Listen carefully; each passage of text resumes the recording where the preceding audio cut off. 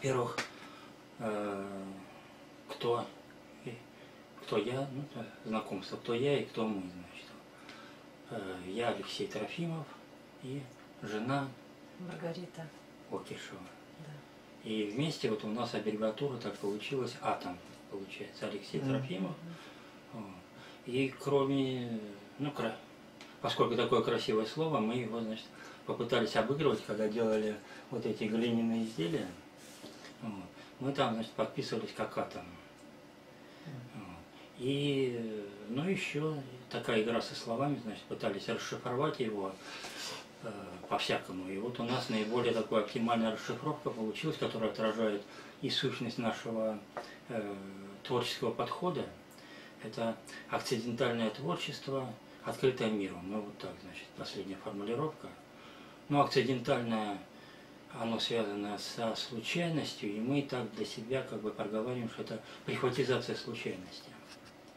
То есть это э, спонтанное, скажем так, творчество, э, где э, использование может быть ну, своего рода белого шума, то есть случайности, и э, вто- второ- ну и какое-то ведение, поиск, когда что-то делается, э, если это не жесткая установка на э, воплощение какой-то идеи, то происходит вот эта взаимная состыковка тех образов, тех ну, мыслей, идей, которые у нас есть, и вот э, то, что выдает эта случайность. То есть вообще вот этот подход, он э, был еще Леонардо да Винчи реализован, потом вот у Генри Мура это описывается.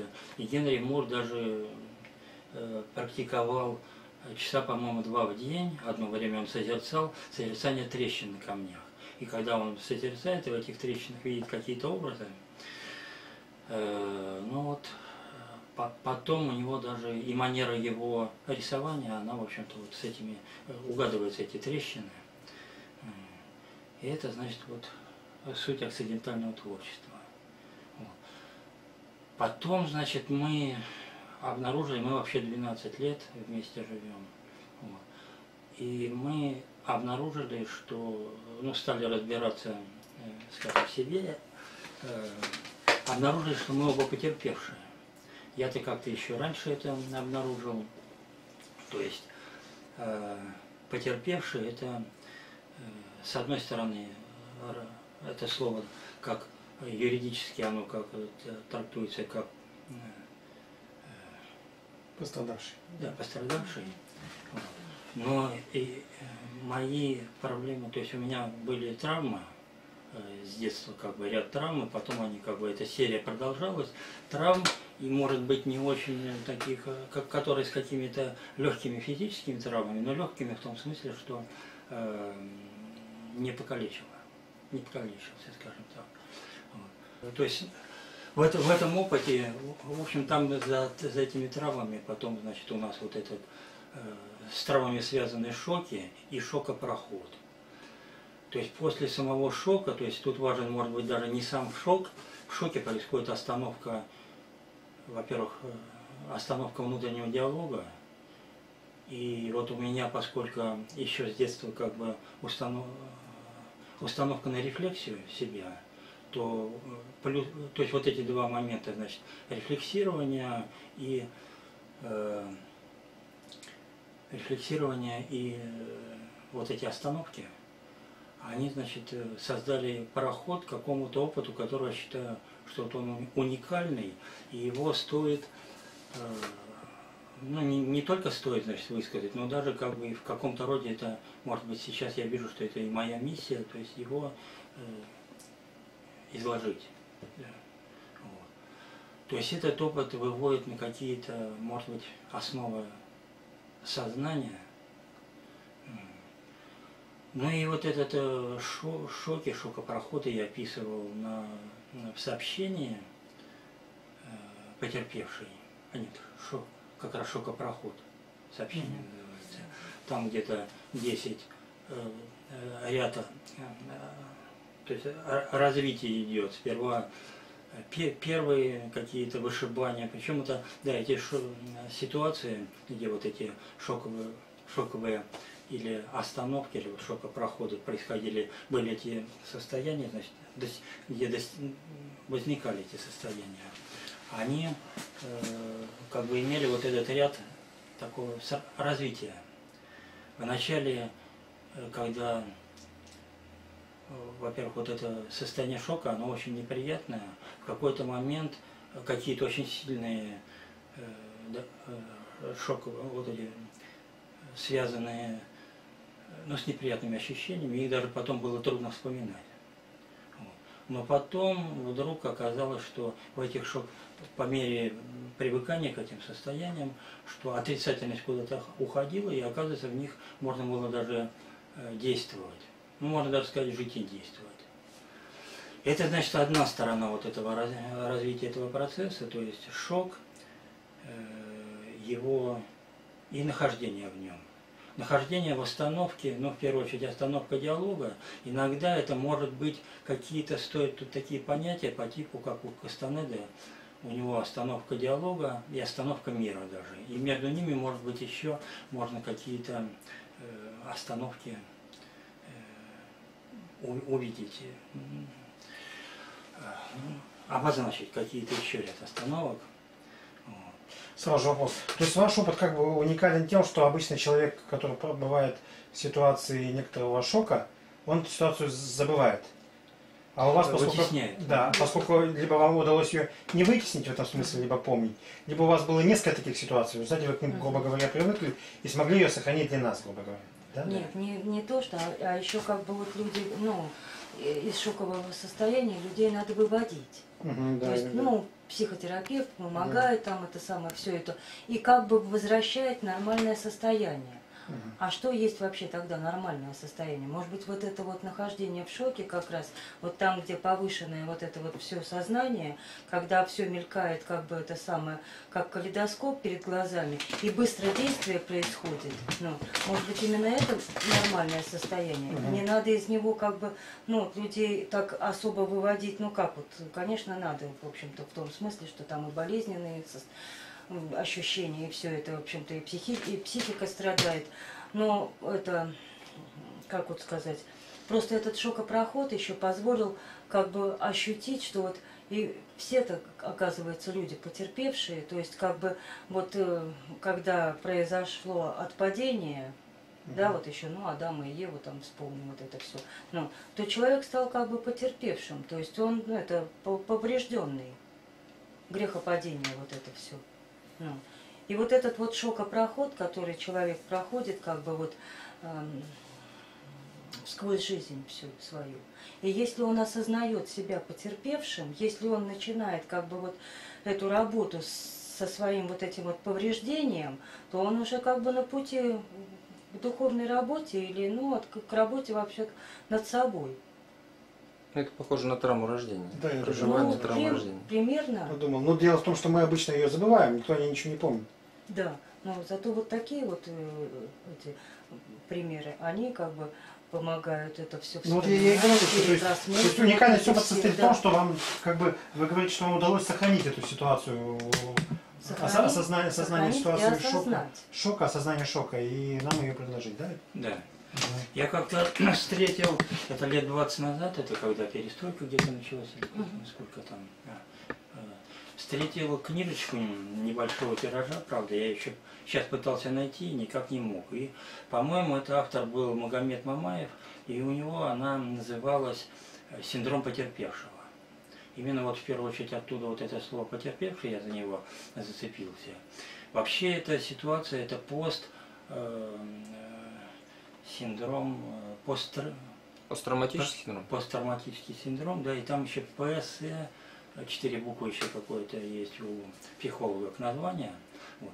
И предполагается, что если человек побывал в этих состояниях, а причем, э, когда вот я, значит, просматривал в интернете, что э, очень много людей оказывается, и чем больше, это не, недавно начали изучать, и чем дальше изучать, то оказывается, что чуть ли уже вот сейчас не 60% сталкиваются с этим синдромом посттравматическим. Вот. Но э, у психологов вопрос стоит, значит, как вернуть его назад в нормальное состояние. И вот вопрос, а есть ли то нормальное состояние, если оно норма? И если, значит, вот этот э, пережить ну, вот у, меня конкретно через ряд этих шоковых состояний, что не позволило как бы этот опыт забыть, но ну, он все время э, потихонечку тюкало, тюкало и возвращало к этому. И в результате, значит, он мной был как бы освоен, э, этот опыт. Еще тут, значит, такая, э, вот этот автор Магомед Мамаев описывает, да и вот там, где значит, пост, ну, вот это описывают психологи, это состояние, что оно часто приводит, то есть его называют, допустим, афганский синдром, чеченский там, ну или вьетнамский, начали с того, что э, психологи, э, по-моему, в Америке начали его, внесли какую-то книгу. Есть, есть психических заболеваний под таким названием, да? Да. да есть там какой-то, слышал, я такой даже читал немножко. Да, и тут э, вот этот э, автор, допустим, Магомед Малаев, он описывает, что люди, пережившие, допустим, вот он начал изучать э, Чечню или Афган, значит, побывавшие, которые вынуждены были действовать в необычных условиях, ну, самоосознавания, может быть, даже и морального, и физическому, тут целостности. Возвращаясь на гражданку, Потом они потихонечку начинали, допустим, либо у них здоровье слабело, слабело, и они в конце концов умирали. Либо где-то попадали в какие-то ситуации, но не обязательно острые, а просто под машину человек мог попасть и так далее. То есть с ним происходило вот это. То есть вторая сторона еще э, идет э, при Э, то есть э, эти состояния вызывают еще более длительные процессы, более глубокие длительные процессы, э, связанные, ну вот может языком таким, по-моему, Берн, он Мартидон на себя, Мартидон на других, вот эти термины употребляет. То есть человек Мартидон на себя начинает сам себя, вот почему я не такой, начинает вот эта отрицательность. У меня Э, допустим, я когда ну, вот, в детстве зуб сломал, я очень переживал, что я вот не такой, как все, и что вот я чего-то важного лишился. Но, правда, я при этом на, начинал как бы рассуждать, а вот если у меня пальцы, допустим, бы не стало, остался бы я, как я. Ну, вроде бы да, значит, а вот если руки, ну и так далее, уменьшая, в принципе, до... Ну, даже если э, головы и мозга лишиться, то, наверное, ощущение было, что, что нечто остается. А тем более был такой как бы опыт переживательный, когда в детстве остро воспринимаешь смерть э, близких или вот соседей. У нас тут, э, ну, чуть-чуть постарше, но, можно сказать, наш ровесник, парень, утонул. И вот когда его хоронили, было просто ощущение, что он не умер, а здесь в пространстве находится, то есть ощущение присутствия. Но вот это переживание самого присутствия, как своего, так и э, других людей, когда контактируешь, особенно с человеком, у которого э, вот это присутствие а, а, и то, что за ним стоит, как бы развито, разработано, можно сказать. Вот. Но это, я думаю, да, дальше, если вот так по плану двигаться. Вот. И вот это мы э, коротко, значит, потерпевшего проблему, то есть э, пережив вот эту ситуацию потерпевшего, то есть пережив в малом или каком-то ну, локальном опыте, э, вот это пер, именно пережив, то есть пере, э, есть такая у Селюка работы, технология переживаний, где он переживания рассматривает как э, ну, ощущения, то есть вот ощущение ну, какого-то лирического состояния, да. И переживание, как пережить, э, может быть, вот то, что ну, на исповеди, допустим, в церкви происходит с человеком, если он, конечно, глубоко это переживает, и, то есть э, у него опыт каким-то пережил, ну вот отрицательная, допустим, составляющая снимается. И вот здесь тоже в результате вот этих переживаний, вот эта отрицательная часть этого опыта, которая Э, уже не столько какими-то ситуативными физическими неприятными ощущениями связано, а с более вот этим глубоким пластом переживательным, который э, приводит к тому, что человек может и не пройти, и, скажем, умереть тем или иным способом.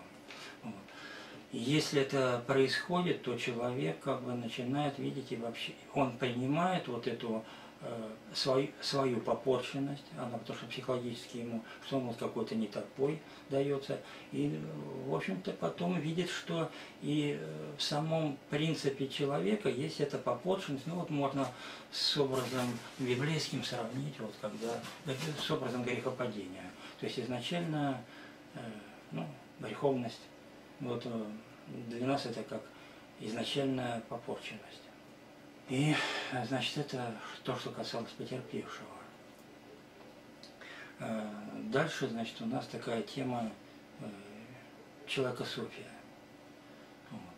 Поскольку все современные, в основном, науки, ну вот и философия, если она и начиналась с проблемы человека, то потом как-то, похоже, переориентировалась. Тут мы не очень сильны в философии, поэтому я так вот говорю, наверное, Э, переориентировалась на науку. И можно сказать, что наука София.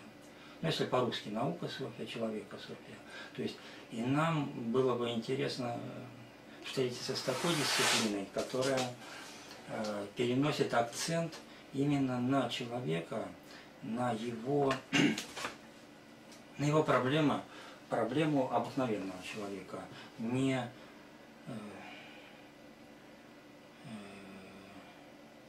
не, не вот этого субъекта ну, науки, как сказать, э, который... Не абстрактного субъекта? Да, не абстрактного субъекта, а конкретного. То есть человека, э, причем человека э, с телом. Телесного. Телесного, да. И тут э, такие понятия еще, то есть я как-то прочитал у э, у философа, э, русский философ, сейчас э, потом вспомню, он, значит, ну это не только у него есть этот термин, значит, большой и малый разум. Русов? Нет. Э, философ начала века, христианский философ. Ну хорошо. Ладыжинский. Философ Ладыжинский. Большой и малый разум. И э, человек с телом, то есть само тело, э, то есть э, занимаясь, э, то есть в результате вот этих э, шок, шоковых состояний и шокопрохода, э, там, значит, был, был выход на состояние как бы вот отключения внутреннего диалога, и в котором э, действия происходили спонтанно но при этом э, сохранялось самоосознание. Э, вот, допустим, такой пример. Значит, я как раз в, в Петербурге жил, поднимаюсь в метро э, к Чернышевской, и впереди, значит, мужчина едет э, с пуделем, он его провез в рюкзаке, а тут он, значит, его ведет на, на, на поводочке. И что-то мне как-то так это по ситуации показалось это что-то как-то неправильное, я, значит, поднялся выше, и когда уже на выходе в метро сошел с эскалатора и выхожу, и вдруг, значит, шум, писк, этот, э, у этого пуделя, значит, шерсть, шерсть на задних лапах застряла под э, эскалатором.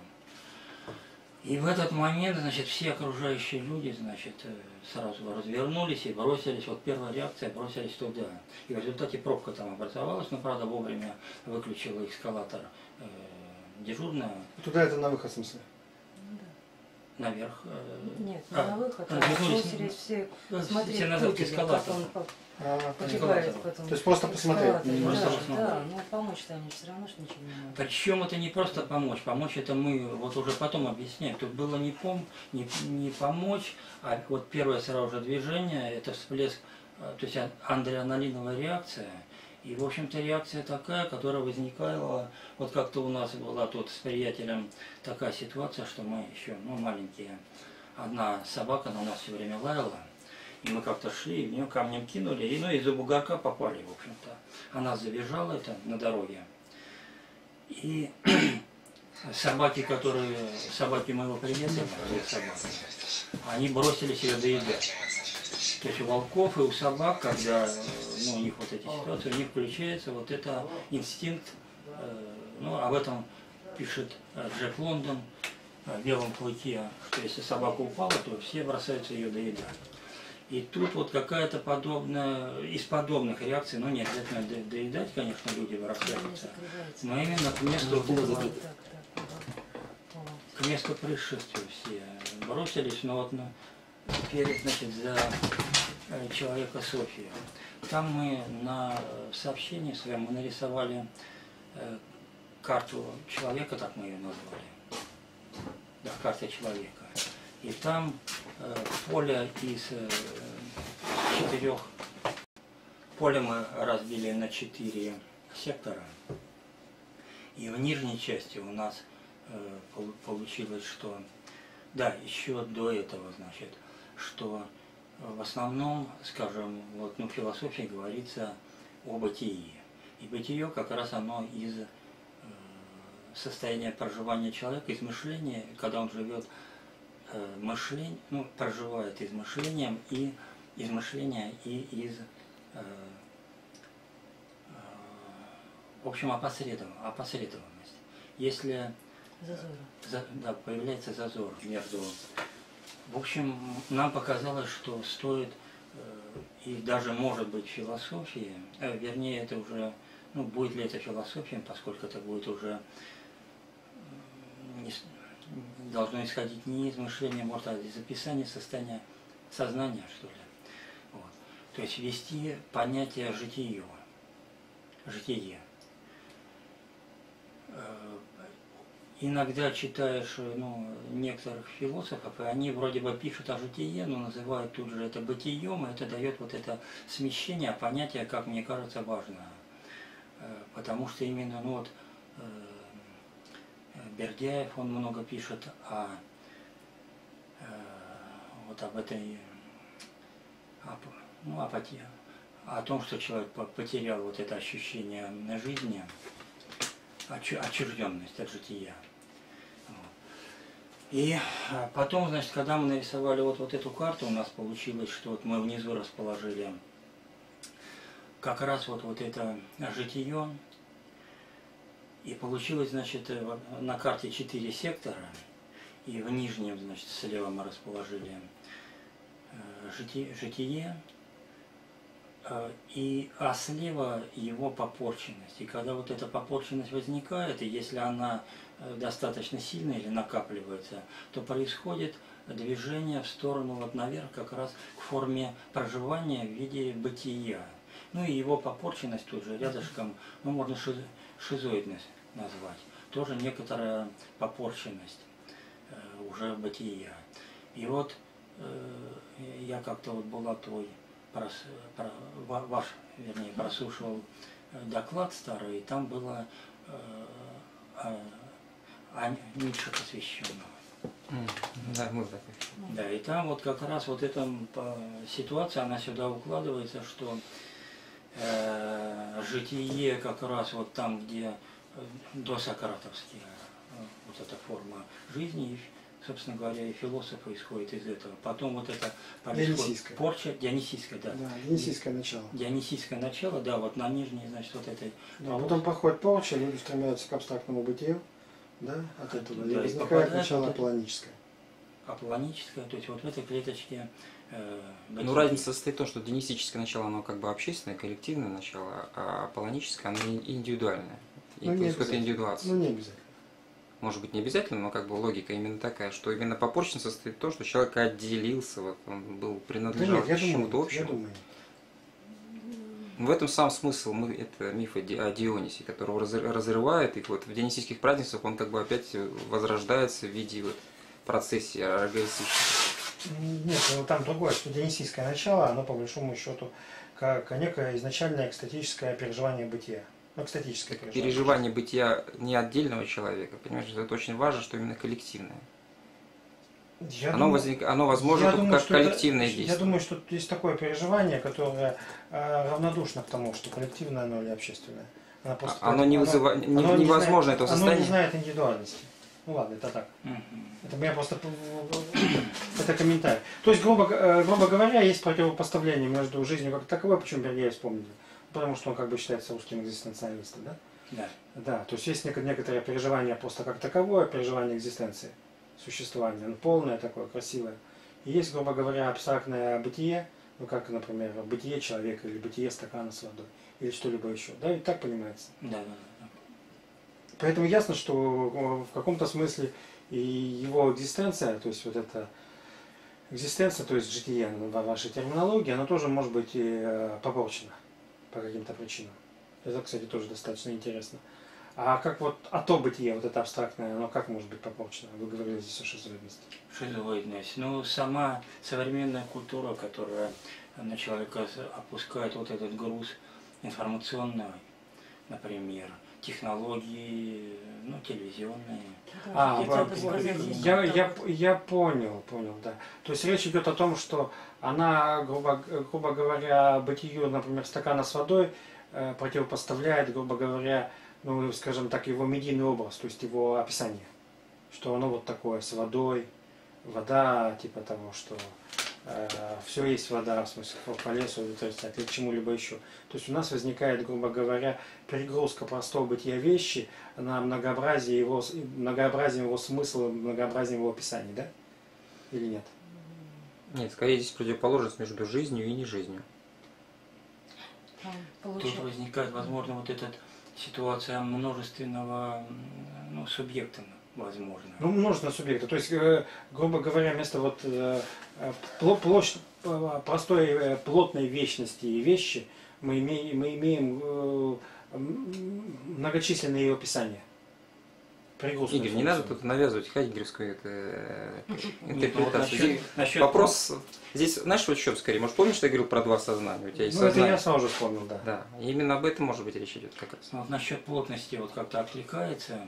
И у нас вот это есть понятие, в первую очередь ощущение. Вообще то, что мы говорим, в первую очередь от какого-то опыта исходим. Потом у нас... А вот еще сразу тогда вопрос. А правильно я понимаю, что вот то, что вы называете житием, оно всегда мое? То есть оно житие всегда одно конкретного человека. Оно является непередаваемым. А в то время как вот э, бытие, скажем, или бытие чашки, оно в смысле э, многообразно, то есть она передаваема. Или нет? Ну, скорее всего, нет. Тоже не передаваемо, да? Нет, почему? Это сам.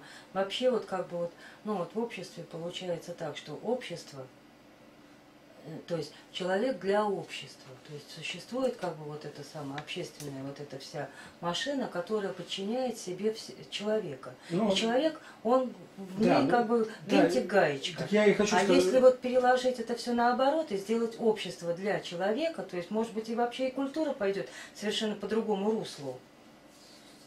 Я, я просто хочу сказать, когда я говорю, говорю mm-hmm. о чашке, ведь на самом деле, когда общество давляет на человека, оно давляет не так, что оно дает ему какие-то приказы, а в том смысле, что оно ему подсовывает язык описаний, грубо говоря.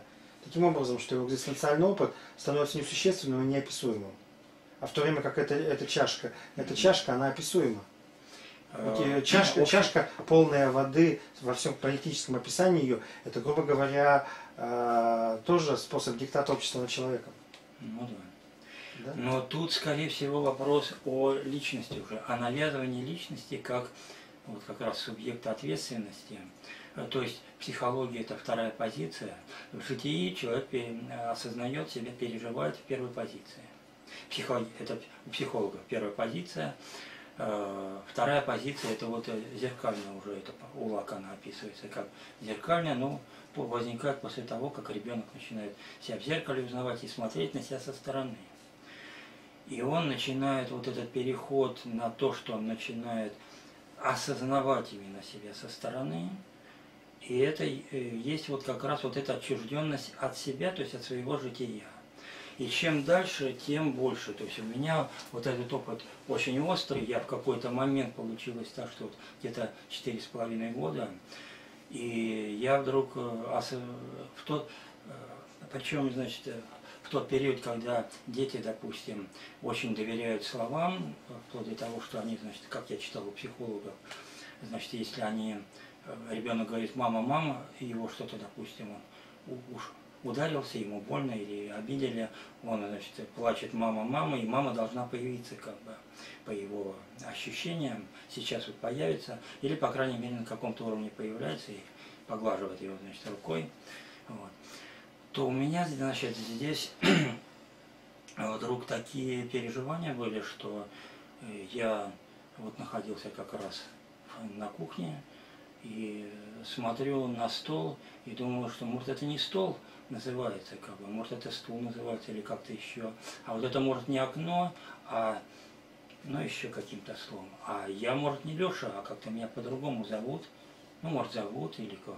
И вот это состояние такого сомнения э, глобального, причем сомнение не только как сомнение в каких-то вещах и названиях, э, даже не вещах, в названиях, скажем так, в словах, а сомнение как э, тотальное состояние. То есть в этом состоянии выключенность как раз диалога, ну, во-первых, вот с, с, с, сомнение всем словам предъявляется, и это э, состояние, э, где достаточно сильно вот как раз слышно, через него слышно самосознание. То есть кто я действительно без вот этих ролей, без внешнего описания, а как я изнутри себя осознаю. То есть вот как раз вот это первая позиция. Был еще такой э, опыт, ну вот почему, кстати, детские вот такие опыты, значит, я на них опираюсь, на них очень вот это э, остро вот эти переживания, и переживания это не просто, мне кажется, мои какие-то субъективные переживания, а они э, переживания те, которые характеризуют в общем природу человека. Просто вот мне в связи с моим каким-то уникальным вот этим опытом это более, значит, оказалось доступно. И поэтому, когда я их описываю, то, вероятно, каждый может услышать подобные переживания, как если у него они были, а э, чаще всего, мне кажется, они были, либо, по крайней мере, сопереживая, он может э, услышать пережить э, совместно, потому что эти переживания их... И вот как раз тут вопрос насчет того, что насколько человек как бы вот в житии, как бы насколько он индивидуален, или все-таки вот общественное, ну вот это... Э, при, то есть человек, э, когда он вот как раз вот в этой в первой позиции, он может переживать, ну как бы трансличностное, ну то есть как она Трансперсонально. Трансперсонально. И как-то еще есть слово, ну, объединение личностей. Угу. Сами переживать, но ну, в каких-то опытах телесных можно переживать, допустим, себя одновременно и своим телом, допустим, только телом, допустим, и чужим. В каких-то психологических, ну, в разговорах, связанных с какими-то, э, со смыслами, э, в разговорах таких, где вот это обостренные психологические смысловые переживания можно переживать и общее, сами, то есть общее присутствие. Угу. Причем можно слышать и присутствие другого, но и вот это общее, оно, э, возможно, переживается как усиление своего присутствия, как бы пространства внутреннего разворачивается и увеличивается либо по объему, ну, либо, может, я не знаю, как сказать, по, по мощности или по, по интенсивности. Что? По интенсивности. Интенсивность, да. Вот, допустим, люди, которые э, как-то занимаются собой, спортсмены, допустим, или шахматисты, или люди, которые э, работают как-то умственно еще. Вот у меня, допустим, сосед, он э, очень много с собой физически, как бы ему приходилось. Он тоже потерпевший, ему в детстве э, там лет пять было, и сказали, что он навряд ли даже выживет, какие-то были с почками у него проблемы. Потом все-таки он выжил, его, значит, врачи говорили, что надо на, сквозне, на сквозняке никак нельзя, то есть по, одеваться потеплее. Но он в конце концов плюнул на все это и стал лезть наоборот в воду до самой поздней осени, значит, с бреднем причем залезал в самые первые ряды, то есть глубже всех, значит, с этим реднем. И в результате, значит, у него здоровье, то есть соматика, в его присутствии, это, значит, слышно, сразу меняется пространство, ну, свое самоощущение, скажем так. И вот когда, значит, какие-то вопросы практически возникают, стоит только к нему обратиться, поговорить, и в его пространстве вдруг голова начинает включаться по этим вопросам, И вдруг, значит, ответы приходят как бы сами собой. И это самое главное слышно, вот это, когда он э, погружается, то есть э, в те вопросы, которые, скажем, ну вот я ему задаю по, как, по, какой, по, по какой-то ситуации. И это слышно как бы пространственно. Э, то есть это ощущается на какой-то дистанции, это слышно. Как слышно, допустим, я как-то работал с одним э, человеком, у которого, э, у которого э, жена христианка, она ездила как раз э, э, какому-то ста, старцу, тогда самый сильный считался, это еще вот, конец застольных годов, старец, который мог бесов отсчитывать. И он ей позволил, она была достаточно подготовлена, она там постилась какое-то время, подготавливалась. Вот. И он ей позволил присутствовать при отчитке. Вот это все очень сильно у нее были переживания.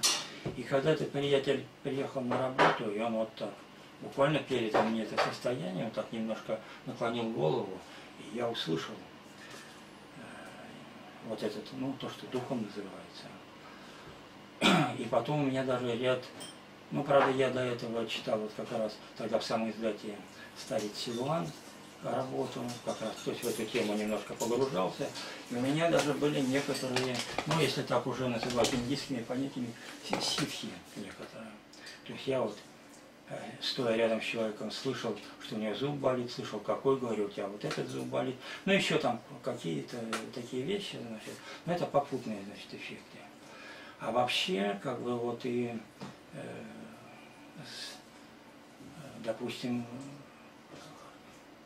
такой еще случай, как бы, вот мы в Девяткино жили, там бабушка с соседней улицы, как раз какая-то неделя была, то ли пост, то ли что, когда много служб в церкви. И вот когда как-то мы повстречались и с ней разговаривали, буквально на расстоянии, значит, я даже как бы вот это, подходя, ну, ближе дальше, значит, где-то на расстоянии метра полтора ощущается вот это состояние ее, э, вот этого христианского духа, что ли. Ну, его вот если так охарактеризовать можно, что когда э, говорят в сказках, здесь русский дух, здесь Русью пахнет, ну, под Русью, как когда э, читаешь, как бы, а, ну, автор, который эти вопросы разбирает, что это Русь раньше была такая большая, что она, ну, это все человечество, как бы. то есть человеческим духом пахнет. И это, в общем-то, ощущается. Ощущается как некий, вот может вот этот дух, запах, но это сложно описать, это ближе может, если описывать через запах, ближе э, как от, отосные ощущения. Э. От сосны. От сосны, как от сосны запах? От сосны. Нет, по-моему, отосный запах. Нет, я неправильно говорю. Ну, это уже какие-то хелингерские, да, там темы. А, ну я вот... То, что есть дух, Э, и то, что его можно ощущать, и не только в расстановках Хеллингера, но в принципе и в обычной жизни. Потому что обычная жизнь тоже своего рода расстановка. А скажите, да, так, нет, такой, такой вопрос. То есть, э, правильно ли я понимаю, то есть, грубо говоря, то, что вам, претерпев, удалось как бы сохранить контакт со своим как бы с малым сознанием, с другим я, вы таким образом, благодаря ему, получили определенного рода дары, вот эти дары, они как раз состоят в том, что вы э, вот, можете чувствовать и понимать вот, то, что происходит с другими людьми. Вот так, активно. Да, чувствовать не всегда, но вот ситуативно, когда какое-то включение. Да. Нет, я-то хочу сказать, что вы, вы как раз хотите сказать, что благодаря вот такому опыту, опыту претерпевания, опыту потерпевшего, у вас это такая функция включилась. Да. Угу. И там, где мы эту схему, вот, э, то есть вот эту э, в теме сообщения, Э, потерпевшая, мы рассматриваем, там еще рядом шок и шокопроход. Именно шокопроход как соединение с тем, что у нас подключено. То есть это не просто какое-то, скажем, мое достижение, приобретение. Это восстановление. То есть это вот соединение как раз большого и малого разума, угу. то есть проход между ними. Там, где у людей обычно разрыв, причем вот этот человек тогда наше утверждение такое, э, ну получив вот этот опыт, мы видим, что человек, потерпевший, изначально. То есть он отлучен от своего вот этого большого разума. И восстановить этот э, пароход, не потеряв завоевания малого разума, то есть не просто назад в природе, ну, да, природе, да, да. пусть туда же духовно. Ну, что Игорь рассказывал. То, что я рассказывал. Да. И это три, третье состояние, которое мы называем состоянием умности, для себя назвали. Оно э, такое тонкое состояние, где может быть характеризуется через то, что у постструктурализмов, структуралистов французских описывается как ризома, но вот мы описали, как для себя определили, то есть Э, логос противопоставляется резуме как состоянию. Ну, мы скорее речь идет в логосе что-то нечто прямолинейное, а в резоме разветвленное. Да, не имеющее какой-то определенной логики, скорее как корень это, или как дерево. Эта логика может ситуативно, знаете, включаться, вдруг вот эта линейность какая-то обнаруживаться, потом она может, когда переживание, ну вот может у Кастанеды, когда лицо текучее. Я несколько раз переживал такое состояние, когда с людьми, с которыми общаешься, лицо как бы воспринимается как текучее. Ну, во-первых, в это э, время замедляется, в этот момент. Это еще вот одна тема, вплоть до того, что вот, это я себе отметочку еще сделать, что в отношении времени как бы есть вот у, меня переживание отчетливое, замедление времени и вообще проживание, э, нахождение себя в моменте. Не вот в этом текущем времени, которое время интервала, ну, связано с интервалом. Вот. А время, связанное с моментом, но еще время, может быть, не, не так оно хорошо осознается, но все-таки время, э, которое есть вечность. И у нас вот так три модуса времени получается. Собственно, само время, вот это интервальное, миг и вечность. Миг вот Зеновских хорошо описывается. Ну, астрономическое время, можно сказать, внутреннее время и, и вечность, да, как бы отдельно. Да вот это астрономическое время, но если это выносить...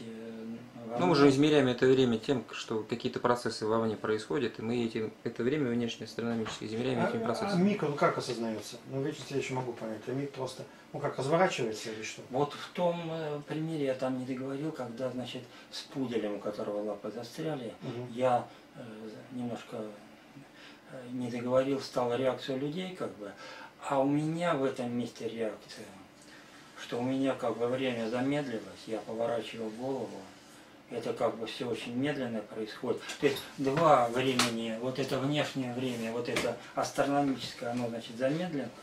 Угу. Причем это и в других ситуациях так происходит, в ситуациях, которые требуют уже спонтанности.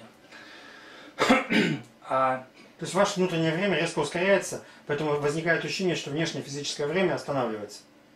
Это если мы будем объяснять пытаться объяснить, как это, да, мы тогда скажем. Ну, есть внутреннее ощущение, а есть попытка его понять. А, то есть это все-таки это все-таки объяснение, а не феномен, да? Да, да, да. Если я описываю вот изнутри, то оно просто зам... я, я, я при этом э, проговариваю так, что это замедляется время. То есть я поворачиваю. То есть внутреннее время, конечно, ускоряется, просто внешнее тем самым. По отношению к внешнему получается, что оно ускоряется. Но внутренне я это воспринимаю как замедление моего времени. Это одно. И в то же время, значит, вот этот миг, но он связан как раз с самоосознанием. То есть возникают как бы э, два потока, а вообще-то в пределе там три потока. Поток вот этой как раз э, связанный с поток проживания и спонтанности вот этот.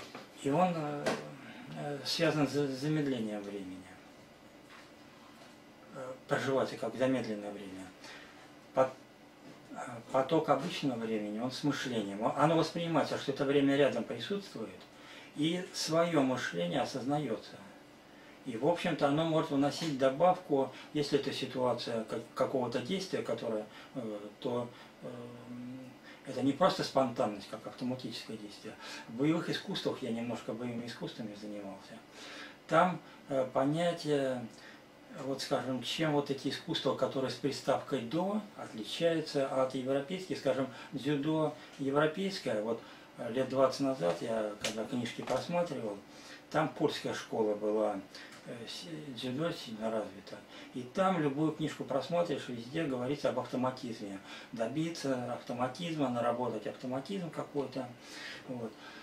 А в боевых искусствах, э, которые, ну, как кунг-фу идут, не как искусство, не, не драка, а кунг-фу или с приставкой, вот когда это до, там, и тоже дзюдо с приставкой до, оно добивается состояния осознанности. Осознанность – это как раз включение самоосознания.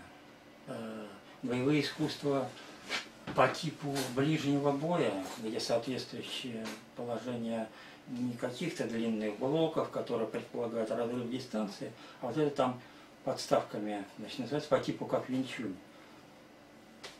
Э, короткий удар и вот эти подставки. И отсюда повышалась очень, значит, вот эта плотность проживания, интенсивность проживания.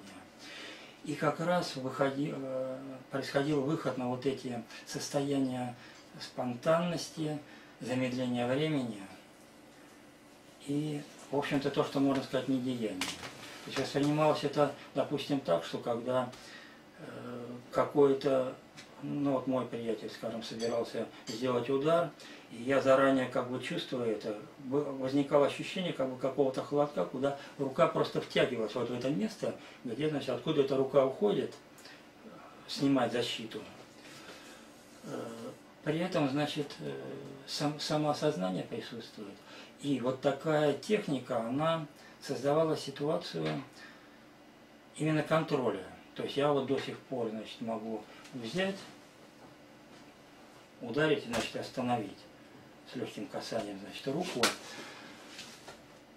То есть вот эта ситуация ответственности, чтобы не, не покалечить друг друга, она создавала вот эти предпосылки, и плюс плотная ситуация, она создавала предпосылки перехода как раз вот то, что связано как раз с шокопроходом.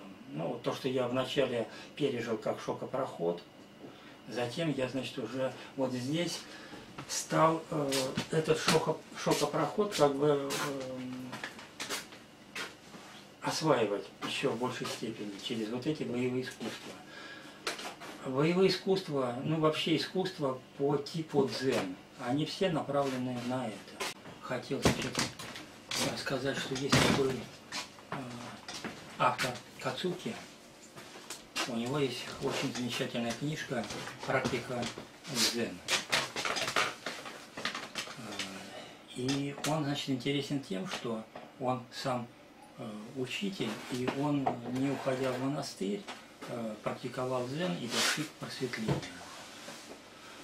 И он описывает как бы вот эту максимально эффективную практику, с одной стороны, с другой стороны, за этим стоит принцип принцип э, того, что есть вот как раз э, достижение вот этого достижения или восстановления самосознания. И э, оно заключается, то есть вот эта практика задзен заключается в том, что садясь, ну, лучше всего в позу лотоса. Вот, ну, вот поскольку, допустим, я не могу в позу лотоса садиться, я попробовал, значит, сидя на стуле, и там очень важно, значит, Э, сесть правильно, то есть на краешек стула, э, положив живот немножечко как бы на колени, вот это положение поймать. И когда делается при этом, э, как, как можно, стараются делать больше, больше выдыхать, меньше вдыхать. То есть тем самым объем воздуха, находящегося в легких, уменьшается, ребра ложатся на, друг на друга, опора идет значит, на ребра и сзади ну, позвоночник, при этом, конечно, все прямо выстроено, чуть подбородок подтянут, здесь по энергетике какой-то замок есть. Вот. И потом еще идет такая добавка, что звук У, и по-китайски это, по-моему, пустота означает, то есть это еще и Каан, как бы, медитация на Каан, ну, да, может быть, для европейца достаточно Э, этот звук производить, он как раз дополнительный, несколько раз вот это у, у, у, у выдыхание, потом короткий вдох и снова выдыхание. То есть так типа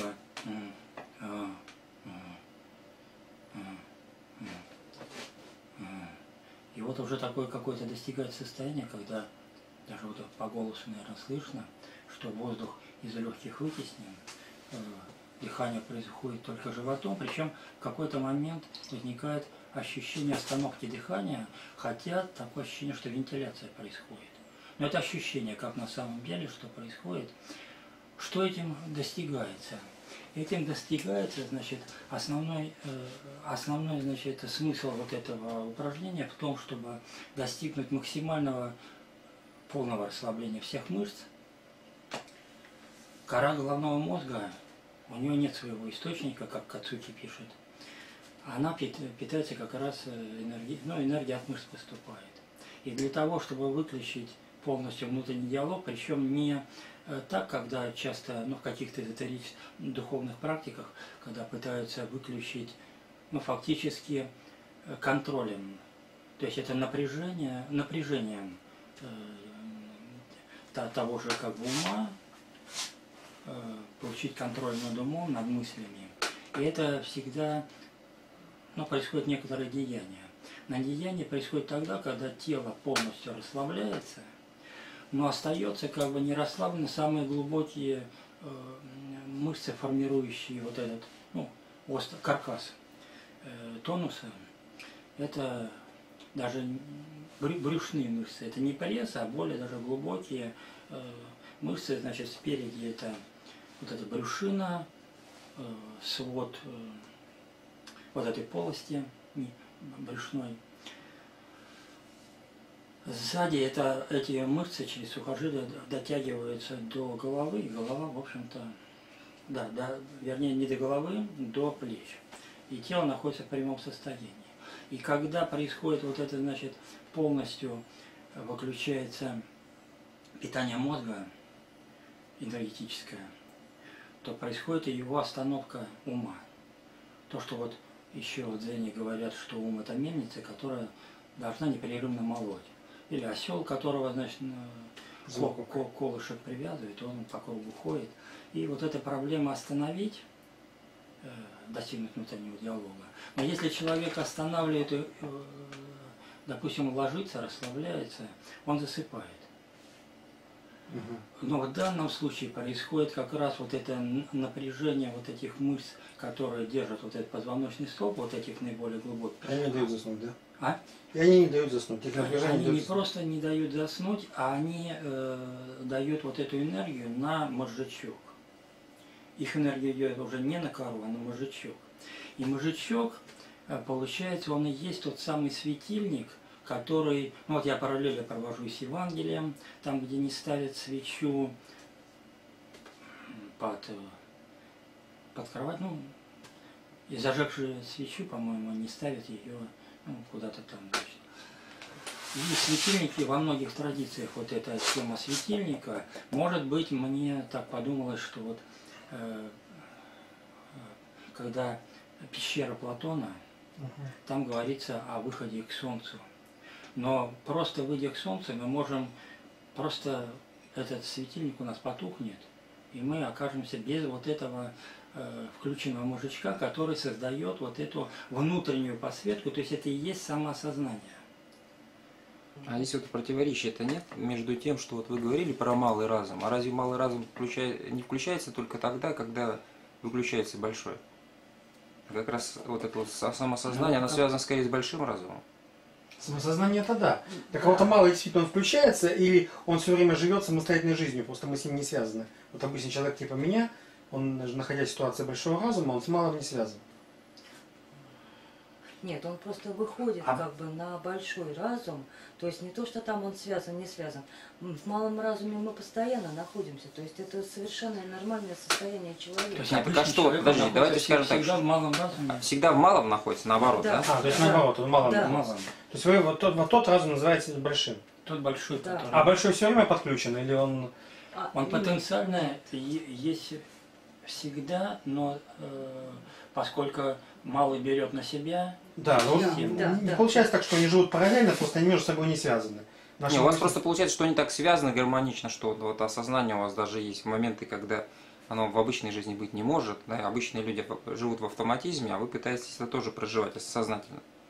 То есть не получается ли так, что вот здесь есть вот как противоречие, состоящее в том, что все-таки вот большой и малый разум, они друг другу ну, противоречат. Это, это, они друг друга исключают. У них есть противоречия, и мы вот как бы дальше это оформили в виде э, того, что вот, ну, как бы мы для себя назвали карта космоса. Ну, космоса, моего космоса, э, космоса человека. И она как раз, э, вот эти два э, самоосознания и то, что связано с малым разумом, э, с работой коры, то, что вот мы говорили, они на этой карте находятся ортогонально. И поэтому они э, могут не противоречить, но совместно и если так вот как бы, ну, предположительно, это вот большой разум, это состояние старцев, Угу. Вот они находятся в большом разуме. То есть им задаешь вопрос, э, они тут же отвечают. Так они одновременно вас... находятся в большом и малом? Или, или, или? Или они в большом, или они в малом? Нет, как бы они, может быть, могут возвращаться, может быть... Нет, это, это опять-таки предположение.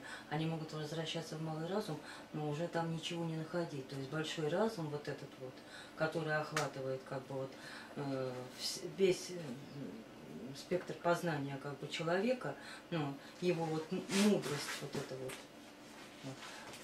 Наверное, все-таки... Но вот только Станеда это состояние воина, состояние видящего, где mm -hmm. можно туда-сюда переходить, возвращаться, это раз. А если говорить о старцах, ну вот э, старец Силуан, вот это с его описанием, ну книга как, я не знаю, она называется, где описание. Дивный старец Силуан. Mm. По-моему, называется Вот. Э, и там вот этот э, описывается, что он, когда производя вот эту духовную работу, он дошел до какого-то уже высокого состояния, ну, далеко продвинулся. И ему его наставник э, дал зада задание, значит, ну, чтобы он, э, по-моему, хозяйственной деятельности, ну, типа завхоза в монастыре, что ли. То есть именно из вот этого состояния, то, что он сам собой моль, в теле молился, чтобы уже... И вначале это, в общем, ему мешало его духовной работе, но потом он как бы приходит к объединению вот этих двух опытов. То есть так вот получается, что любую деятельность человека можно осветить большим разумом и действовать из него и более эффективно, чем нежели из малого разума. Не, просто понимаете, либо это деление условное, большой малый разум, и есть непрерывный переход от малого к большому. Одно вложено в другое. Либо это все-таки на самом деле скачок. скачок. Понимаете, и если это скачок, то тогда, покидая пределы малого разума, туда уже не возвращается. Нет. И, и между ними тут есть некая не граница? Нет, вот тут не может быть вот этого вот э, как бы невозвращения, потому что изначально человек поврежденный то есть грешен. И выйти на состояние Бога он никогда не сможет. Он все равно будет как бы в своей греховности, то есть даже вот любой старец, он как бы до конца, уже имея все вот эти свои, ну, так скажем, регалии, там, эти самые все вот уже признанности, все эти, что он старец, там все, он все равно как бы себя уничижает тем, что он грешен. Он постоянно, постоянно, постоянно. находится. Понимаете, если он себя уничтожает, это... Нет, уничтожает ну, никак, ну, если он находит себя. Находит вот себя именно, что он находит просто с позиции да, некоторого да, другой да. позиции, находит себя таким. Он видит Я, просто себя таким.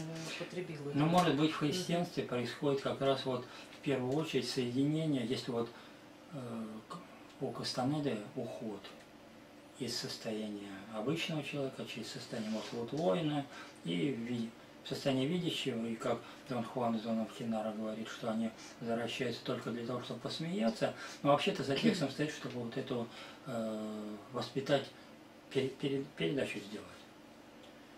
То есть Кастанеду э, обучить и, и его партию. Вот.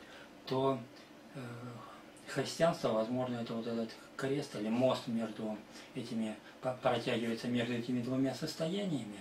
И вообще-то вот как мне видится, и может быть не просто видится, но и немного иногда дотягивается слегка, как бы переживается, это третье состояние.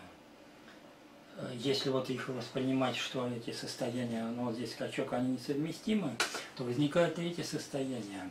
Состояние, мы его называем состояние умности. Умности в том смысле, э, а, от, вот в христианстве есть умная молитва, умное делание. В практиках, ну вот, боевых искусств, можно сказать, умное тело, состояние умного, умного присутствия в конечном счете. Где эти два состояния, в общем-то, предыдущих, они, малый и большой разум, они совмещаются. То есть одновременно возникает, скажем, в боевых искусствах, иногда как бы в каких-то фильмах показывают – монах какой-то берется, и у него состояние такое отрешенное, отсутствующее, и он такое ощущение, что, ну, собственно говоря, на автоматизме, наверное, и действует. Но э, часто, вот, например, мы еще самый первый фильм «Жемчужина кунг-фу» фильм был, и там, значит, у э, актера очень одухотворенное лицо, и во время, во время его боев оно тоже, в нем слышно э, движение и присутствие мысли. Ну, мысли не может присутствовать, мысль она все тормозит. Мысль быть не может. Если и может быть, только ощущение. Мысли очень медленно двигаются, если он будет мыслить, его там побьют, да, и вот тут может быть Брюс Ли говорит о том... Только предощущения какие-то. Он, вот как вы говорили о том, что появляется холодок, и вот и все, и действуете исключительно из ощущений. И вообще говоря, когда вы говорите о том, что они избавляются от внутреннего разговора, имеется в виду вот от этих вот мыслей они избавляются. Они, они вот только вот воспринимают и действуют, исходя из того, что воспринимают. Работают чисто вот на уровне ощущений. Поэтому вот есть вот некое вот это вот э, разум малый, разум большой, в каком-то отношении все буддисты хотят вообще отказаться от, от этого, от мышления, в пользу вот этого внутреннего самоощущения.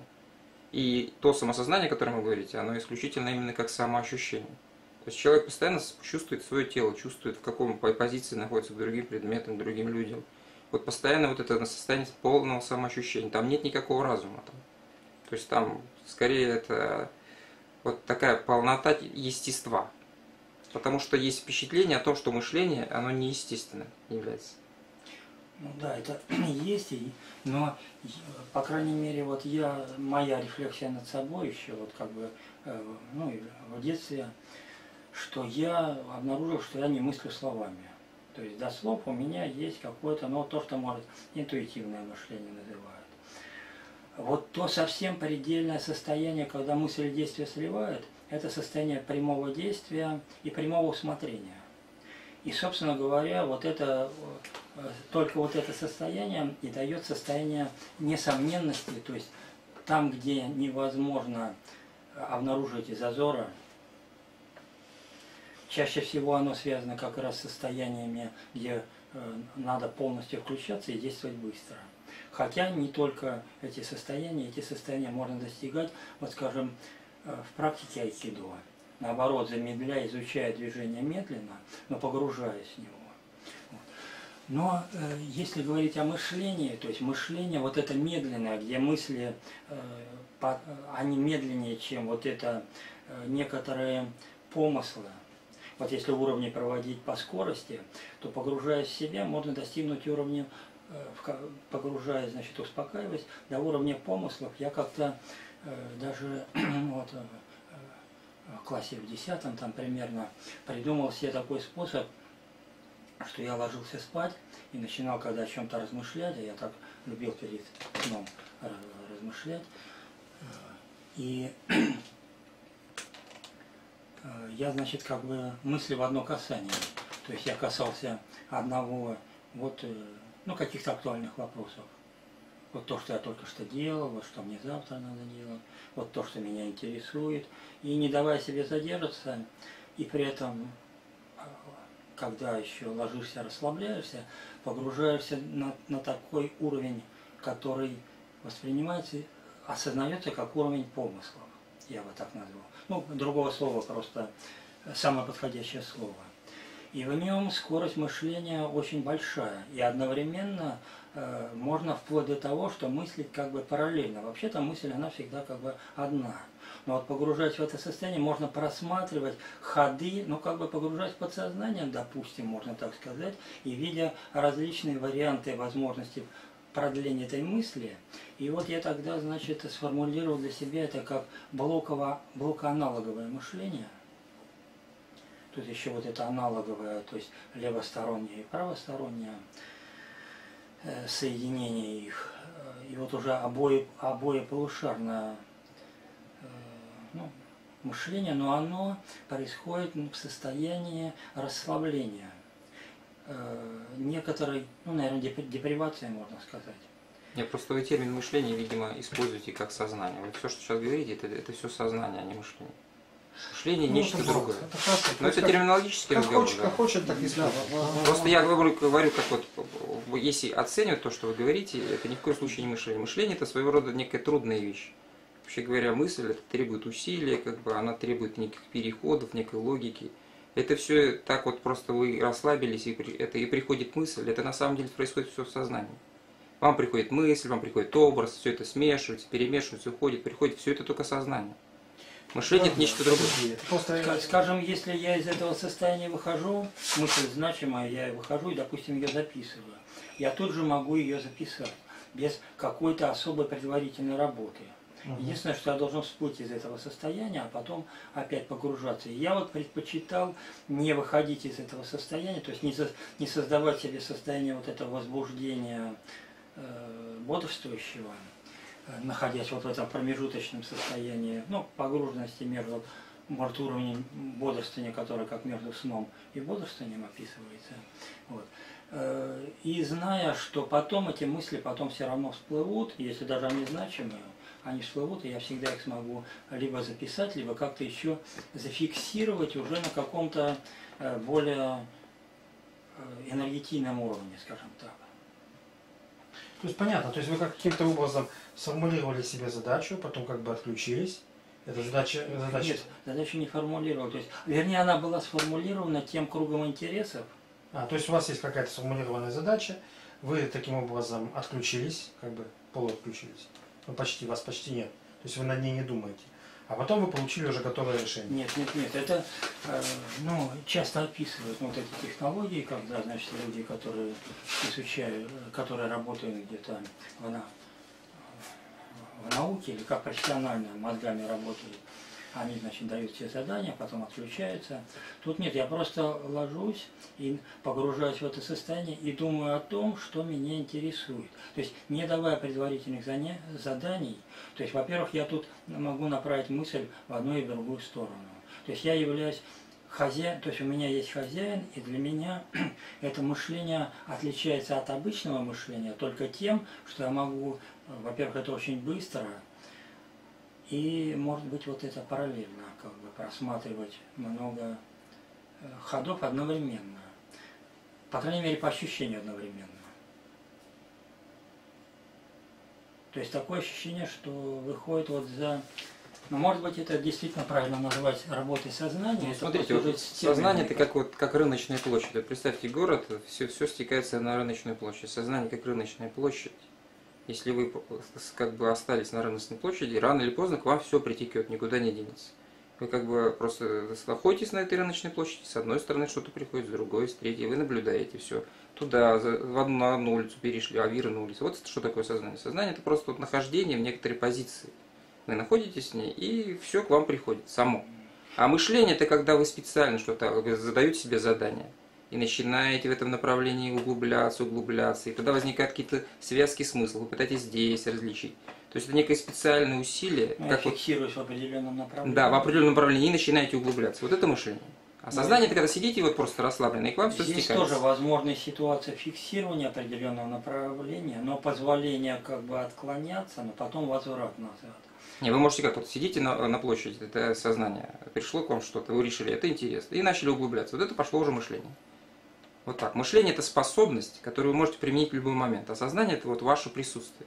Вы просто присутствуете, и вот это вот ваше сознание. Нет, если вот до такой степени говорить, что это просто присутствие, то в присутствии нет, во-первых, моего видения.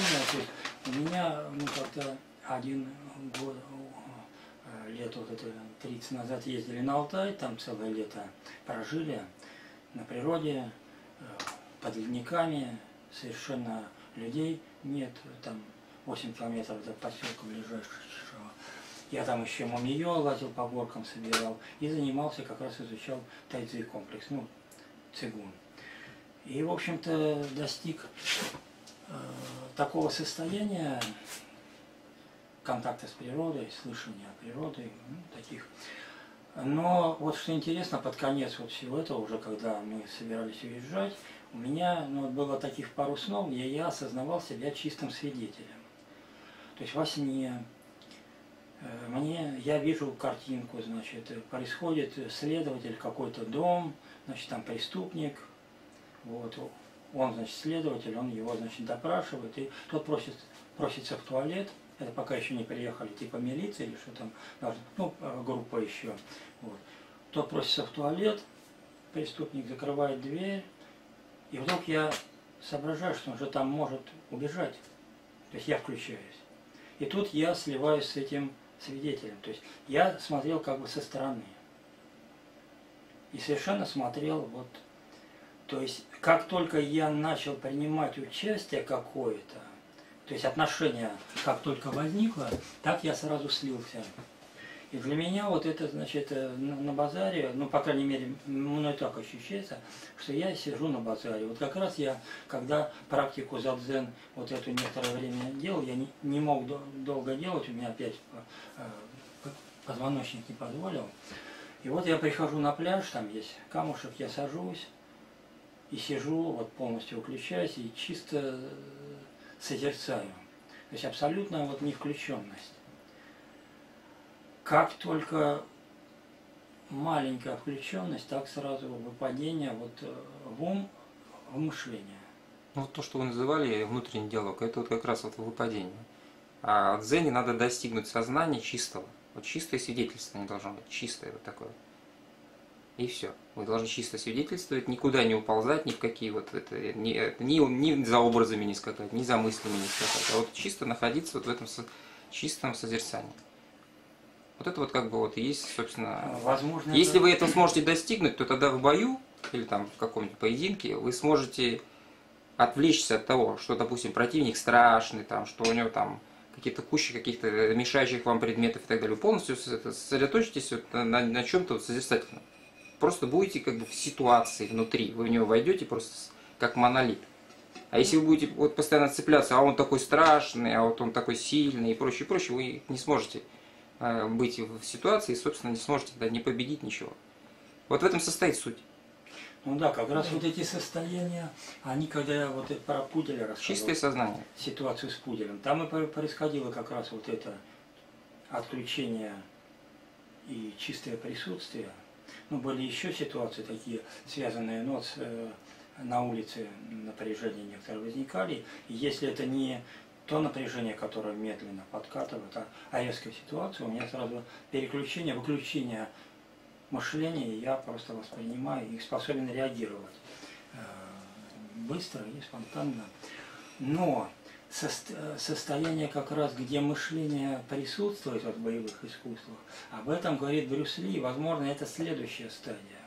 Брюс Ли, он, значит, джит кундо, э, стиль создает, то есть стиль без формы, то есть это творчество, насколько это возможно, от формы избавить, минимум формы. И вот те э, практики, та практика боевых искусств, о которой я начал рассказывать, там как раз тоже вот с этим минимум движений и поскорее создание ситуации, где происходит выход на спонтанность, тем самым на все эти состояния. Но следующий этап мышления все-таки добавляется, и Брюс его описывает как еще некоторая стратегическая составляющая. То есть это мышление, оно, возможно, не в виде слов, да, мышление оно и всегда не видит ну, слов. Но может быть я вот опять Просто мышление может, это может, некоторое может, следование, понимаете? Как бы вы все у вас, когда вы находитесь в сознании, вы в полноте некоторые находитесь. Это как бы некая изначальная возможность и полнота. У вас как бы все дано сразу. Вот как вы на базарной площади сидите, вам все, вы полностью обозреваете весь горизонт. Если вы углубляетесь во нечто одно, там, например, пошли за образами какими-то или пошли за мышлением, вы все, потеряли цельность. Вот что проблема. А и это раз, а во-вторых, мышление медленное, оно всегда медленное. А, оно требует вот, напряженности какой-то, требует усилия, требует внедрения. Тебе описывают как раз опыт, когда мышление очень быстрое гораздо быстрее, Такого чем, не бывает. чем спонтанное движение Ничего нашего не тела. бывает. Либо нам... Почему тебе описывает опыт, что такой опыт существует? Нет, мышление быстрого. Быстрого мышления. Нет, одновременного ситуации шока, присутствия. Ситуации шока, быстрого. Тогда я, не, тогда я не понял, видимо, действительно. Нет, состояние... Потому что я такого не знаю. Тех, тех шоков, которые вот я, значит, э, испытывал, значит, там происходило полностью включение мышления. А, и, вплоть, и вплоть до того, что в какой-то ситуации, после этой ситуации, я там, не знаю, час, по крайней мере, говорить не мог. Просто... Э, То есть мышление выключается. То есть работа, как я говорю, другое сознание, которое редуктивно действует. Бабух? Бабух? Э, в состоянии вот этого реагирования, да. это безусловно, да, там мышление отключает, отключается. Да, да, сознание отключается, и как да. бы вот происходит такой дых, вот, это вот, вот да. этот момент интересно как раз разобрать. Мне кажется, вот, вот как вот сознание, мышление, вот ваше вот этот некие особые состояния, потому что как они соотносятся на самом деле, вот это вот не очень понятно выясняется, да? Да, но с другой стороны, нормальный человек про эти состояния ничего не помнит. Сознания же не было в тот момент. Не было, по них и не помнит. Или было сознание. Вот это тоже важно. Э, я думаю, что было, он вытесняет. Во-первых, эти состояния, они всегда шоки. То есть, потому, это не обязательно, что какие-то физические боли, как бы. Они шоки от это психологические шоки от того, что это непривычное состояние, он приучен к состоянию включенного да, мышления, да, диалога. Постоянного диалога, да. То есть вот он сидит, вот он сознание тут бац, оно выключилось для того, чтобы... Так вот я вот считаю, что выключилось мышление как раз. Сознание ну, осталось. Это, это терминологический вопрос. Хорошо. Что-то там такое выключилось. Что Нет, ну это важно просто для того, чтобы а... понимать. Нет, я все-таки возвращаюсь к самому началу вашего рассказа, Алексей. То есть речь идет о том, что бывают еще такие состояния, то есть третий вид состояний. То есть первое состояние это когда мы просто так сидим, вот, например, я, у меня идет внутренний диалог, чашка, кружка, торт, чашка, кружка, торт, ну и так далее. Ну, такой незамысловатый. Mm. А, вот. Второй бывает ситуация, когда шок, когда я чувствую, что ну, сознание понимает, что ресурсов моего, моего собственного разума, когда чашка сорт недостаточно, надо действовать как-то иначе. Она тогда отказывается, человек отказывается от этого сознания и начинает действовать чисто рефлекторно, допустим. Ну, бывает тогда, что боксер уже потерял сознание, на самом деле, но еще дерется. Вот бывает такая тут предельная ситуация. Ну, а да, курица, если голову отрубили, она еще идет. Это, та же, да. это та же состояние? Да, да, да, похожая, да. Вот, она, вот это, то есть такая, такая, такая ситуация. Э, с одной стороны. С другой стороны, вроде бы получается, что вы описываете третье состояние, когда э, с, одной, с одной стороны происходят какие-то действия практически на уровне автоматизма, а с другой стороны сознание при этом не отключается, но как бы остается некая позиция свидетельствования. Да? Да. То есть вот такая вот вещь. Да. Так это вот крайне есть Причем не только свидетельствование, но и какая-то степень активности в том, в том ну, вот как, в смысле, что оно является хозяином, его впору тут назвать хозяином. Ну вот у... по той э, по той раскладке, где буддийская лошадь, телега, э, этот самый кучер и хозяин. Ну, в самом деле, да, я когда вот так сижу, я много чем управляю, могу взять чашку большими, но некие элементарные вещи, например, управление всеми своими мимическими мышцами я не осуществляю. Их там 300 штук. Поэтому любой физиономист может понять, по большому счету, лгу я, не лгу, управляю чем-то по зрачкам и что-либо еще. То есть я со своим телом разлучен в обычной ну, да. своей ситуации. Да? Но некоторые люди, вот, например, например, мастера восточных единоборств, я правильно понимаю? Ну вот есть такой пример, Стивен Стигл показывает, когда ему даже наркотик, вот этот, правда, вкалывают и прибором измеряет, и он абсолютно говорит, я вот сейчас вру, как бы, и у него не дергается ничего, да. явно. Да, вот мы, телесные практики, Мас, значит, изначально было телесные практики. Мастера, опять же, возвращаясь к теме воздушных единоборств. Телесных практик. Для меня, нормального человека, есть ситуация, если я буду бить кулаком, то у меня рука будет, мышцы будут работать по естественной для меня траектории, которую я опять не управляю. Как не управляю своими мимическими мышцами, я этой естественной траектории не делаю. Можно сто раз можно бить вот так, потом руку потренировать, и она будет как-то близко к некому идеалу, когда она движется не по неестественной для меня траектории.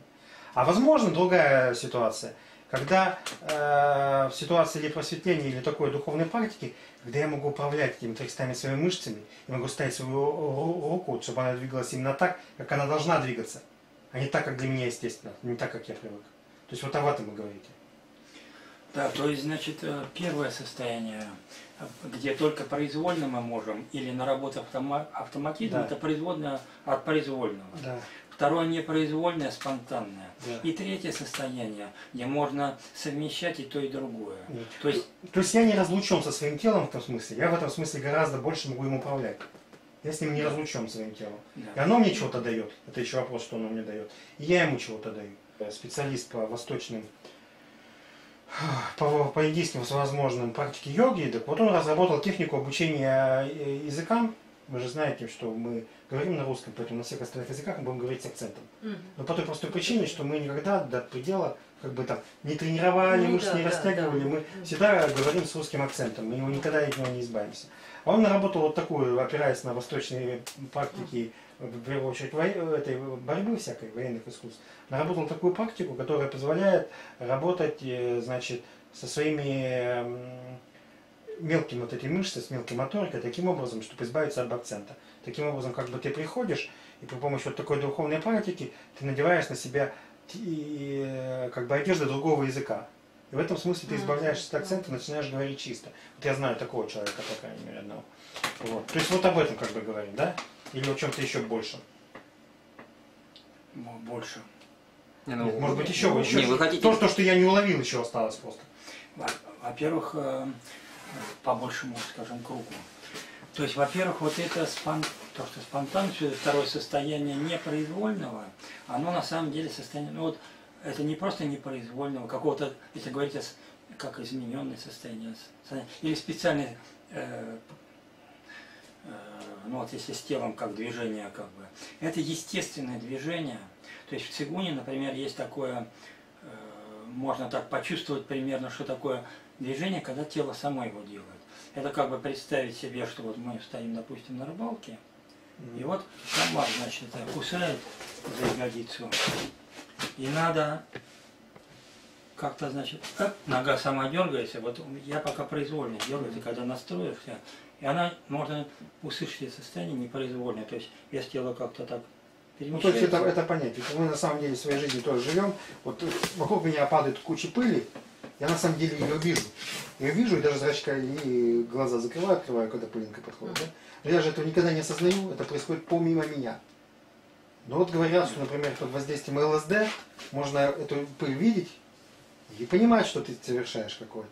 Так что точно я делаю очень много других вещей. Вот я сейчас говорю, я говорю правду, истину, как я вот отношусь, мои 300 мимических мышц, это дело реагирует. Я ими не управляю. Вот ты точно так же, как вот можешь э, уже подсхватить, как ты от комара, комара, когда доверяешь. Таман человек, он оп, как у меня глаза закрылись, открылись, когда пылинка пролетала.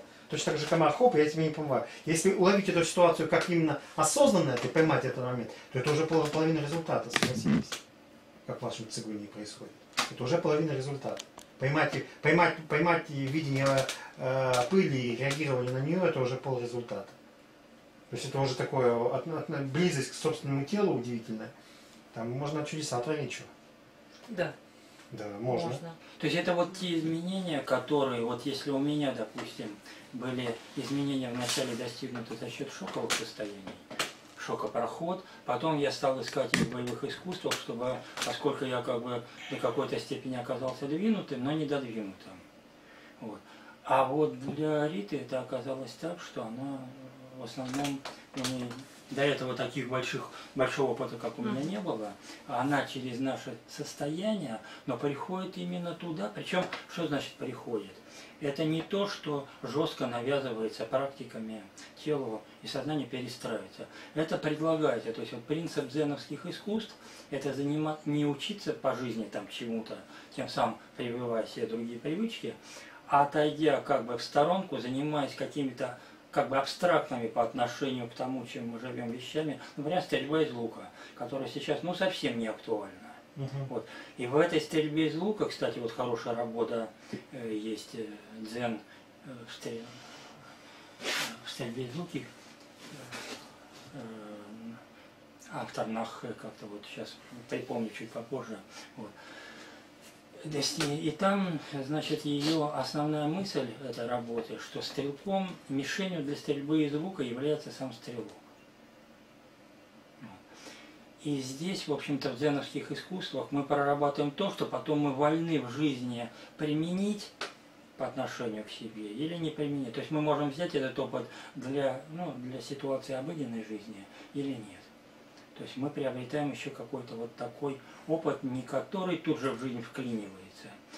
Это создание определенного какого-то опыта, который при каком-то накоплении, то есть вот для меня вот эти, значит, шоковые состояния, когда они, какой-то плацдармик был создан, каких-то иных состояний, они смогли, смогли включиться, и я их уже смог, э, ну, как бы осознанно. Ну, осознанно как? Вот у нас часто, вот особенно зимой, Э, с Ритой мы вечером, когда сумерки наступают, мы садимся и оба отмечаем, диалог выключился. И мы сидим, можем даже о чем-то говорить, причем говорить, думая вот этим самым замедленным по отношению к этому состоянию мышлением, что-то такое, ну, не очень сложное, правда. Мы разговариваем о чем-то, причем немножко продумывая ходы мысли, не просто болтая все, что на язык попадет. Но находясь вот в этом состоянии, выключенности э, как бы диалога, может это уже не выключенность диалога, а именно состояние вот этой включенности самоосознания. Угу. То есть, грубо, грубо говоря, если они работали, внутренний диалог и проживание, они работали, грубо говоря, на одной скорости, то теперь их скорости становятся разными. То есть у нас получается ситуация осознания, она как бы оказывается замедленным по, по сравнению с проживанием всевозможных телесных состояний. Вот тут, во-первых, ну, как бы, когда мы просто сидим, тут уже как бы почему-то, ну, телесно, телесно для меня, когда какой-то двигательность. Ну, телесно для меня это когда просто тело. Просто тело Даже да? сидишь, и вот это тело телесное состояние. Во-вторых, вот тут скорости, скорее всего, поскольку самосознание внутренне проживается как остановленное время, и тем самым как бы вечностное. Угу. То есть вот тут три, мы уже сказали, как бы вечность, вечность миг – и время, которое вот, ну, с обычным Сам, состоянием. Самое интересное, почему вы называете вот именно это состояние сознания большим, а не Нет, малым. нет, нет, мы вот здесь сейчас пока не связываем. То есть большой... В этом большом и малом же есть некая ценностность, понимаете, да? Сегодня да. говорит, это у вас просто. Ну, вообще-то большой, как бы, вот он, да, вспомнил философ Ладыжинский, а я тогда сказал. Да. Вот. У него описывается, в первую очередь, он христианский философ, у него через, он описывает, что есть практики йоговские, вот, ну, индийские, э, связанные с раджа-йогой, и это э, там трени, тренируется, достигаются или как прорабатывается состояние малого разума. Mm. Можно христианскую, христианской йогой большой разум назвать. Это и в Индии есть эти направления, просто нам известны, в первую очередь пришли по тем направлениям малого разума э, к нам через вот этих популяризаторов. Папюса еще в начале века. Малая колесница, большая колесница. Нет, это, это, это буддизм ну, у нас. Ну, И вот, значит, он описывает эти, значит, э, э, большой малый разум вот таким, значит, образом мы здесь, скорее всего, может быть, даже идем еще дальше, как бы. И вот хотелось бы проговорить про вот этот самый э, карту космоса немножечко. Значит, в чем она заключи? Это когда, то есть мы двигались как бы так вот, кстати, прослушивая семинары вот уже лаборатории, мы с запозданием еще не все прослушали. Вот. И Э, там, где э, внимание постоянно вокруг, ну, я так понял, что классическая философия, вообще вопрос философии вокруг вот этого отношения S-O. Так? Субъект, ну, субъект, объект, да. Субъект объектные отношения. И поскольку мы, как бы, вот это есть практика и в нашем творчестве, у нас вот это акцидентальное творчество и вообще еще такая тема Э, технологии обеспечения творческого процесса, о которой как-то вот хотелось бы поговорить тоже. И вот мы, значит, э, в принципе, везде можно найти зазор. Ну, во всем можно посомневаться и везде найти вот этот зазор. Мы это называем еще драматизацией. Когда мы какими-то телесными практиками, цигун, например, э, тайцзи, когда делается, там говорится, что это надо прямо, прямым позвоночником делать. Но если это поделать как-то вот так, с наклонами, находятся и прорабатываются какие-то еще дополнительные моменты, и создается не просто пространство, как вот как раз автоматическое движение, которое можно, глядя на кого-то себе, к телу, э, в теле создать образ этого движения, а все возможности, появляется целое вот это пространство, э, в котором, если что-то в пространстве не так, может пространство физически препятствует, или энергетически, или на каком-то уровне, то его можно сделать еще дополнительные ходы всегда. И, в общем, если производя вот эту, да, это я сказал или нет слова, драматизация для нас. Драмати, драматизация, вот у Леви я как-то прочитал, он предлагает там какие-то взять стихи. Я вот как-то взял стих «Однажды в студеную зимнюю пору Некрасова». И там тихо сказать, э, громко, медленно, быстро, с разными выражениями. И если вот это поделать, потом какое-то время я вот так, э, ну, правда, не очень большое делал, и, в общем-то, очень выразительно э, по ситуации даже голосом удалось остановить человека, которого очень трудно как бы остановить, просто э, пере, переборов его вот этим объемом своих возможностей.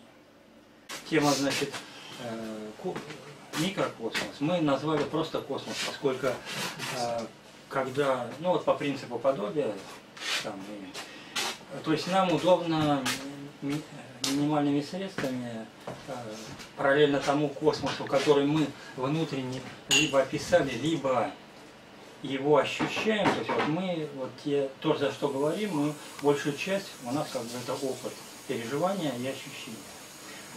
И потом мы, соответственно, этому э, микрокосмосу э, просто симметрично макрокосмос достраиваем. Ну, просто ну, они подобные, на самом деле. Да, подобные. То ли, значит, нет, это не то, что он на самом деле подобный, потому что можно и другие способы. Вот тут э, с логиками, ну, вернее, система построения, у нас еще такое понятие логия есть.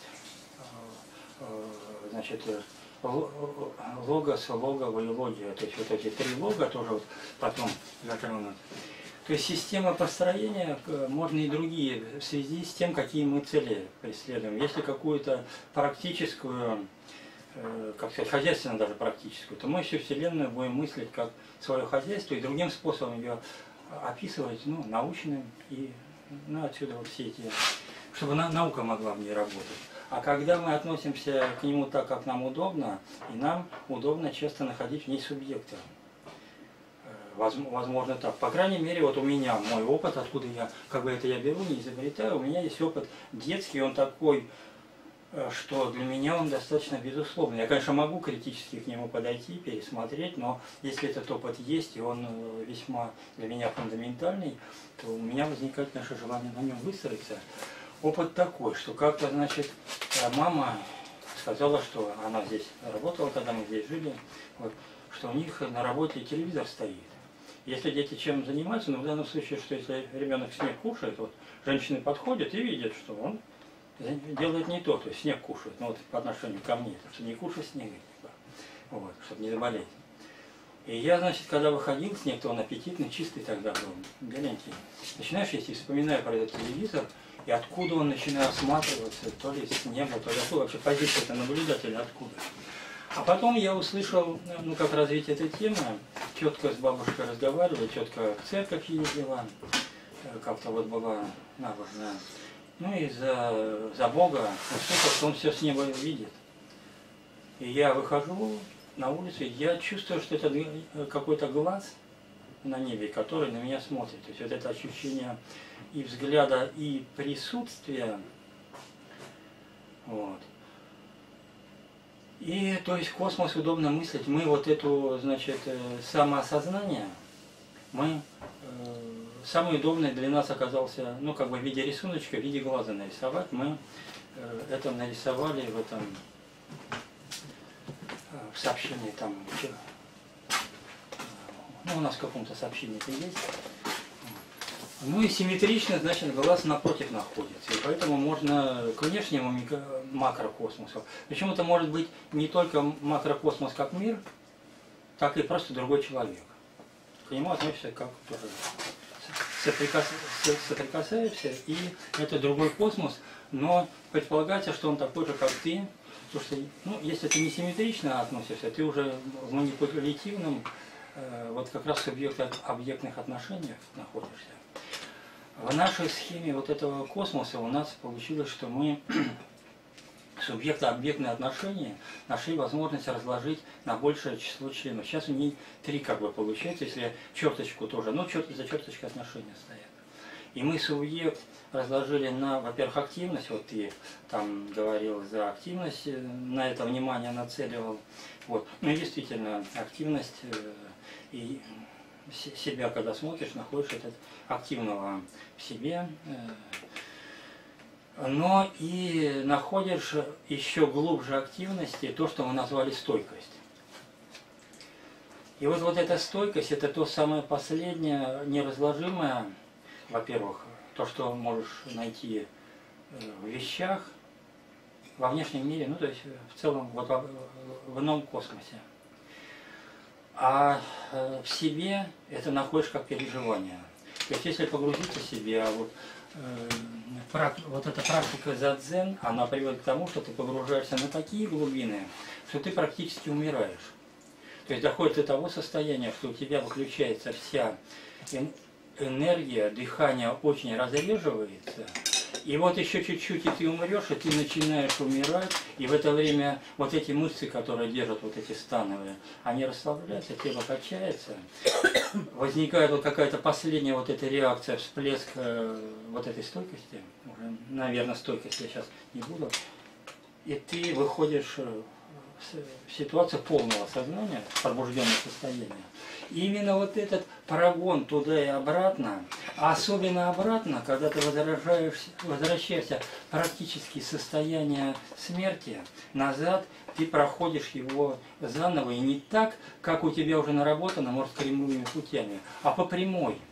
И когда ты какое-то время этим, значит, как описывают монахи, позанимались этим заценом, и потом он, значит, подметает двор, и вдруг у него какое-то событие, допустим, он, ну, описывается, он какую-то хайку или танку написал, этот монах, что, ну, ветерок думал у него что-то, но тут можно басек вспомнить, у него вот этот старый пруд, лягушка прыгнула в воду, как то типа всплеск воды или как-то, ну, и передается вот это ощущение.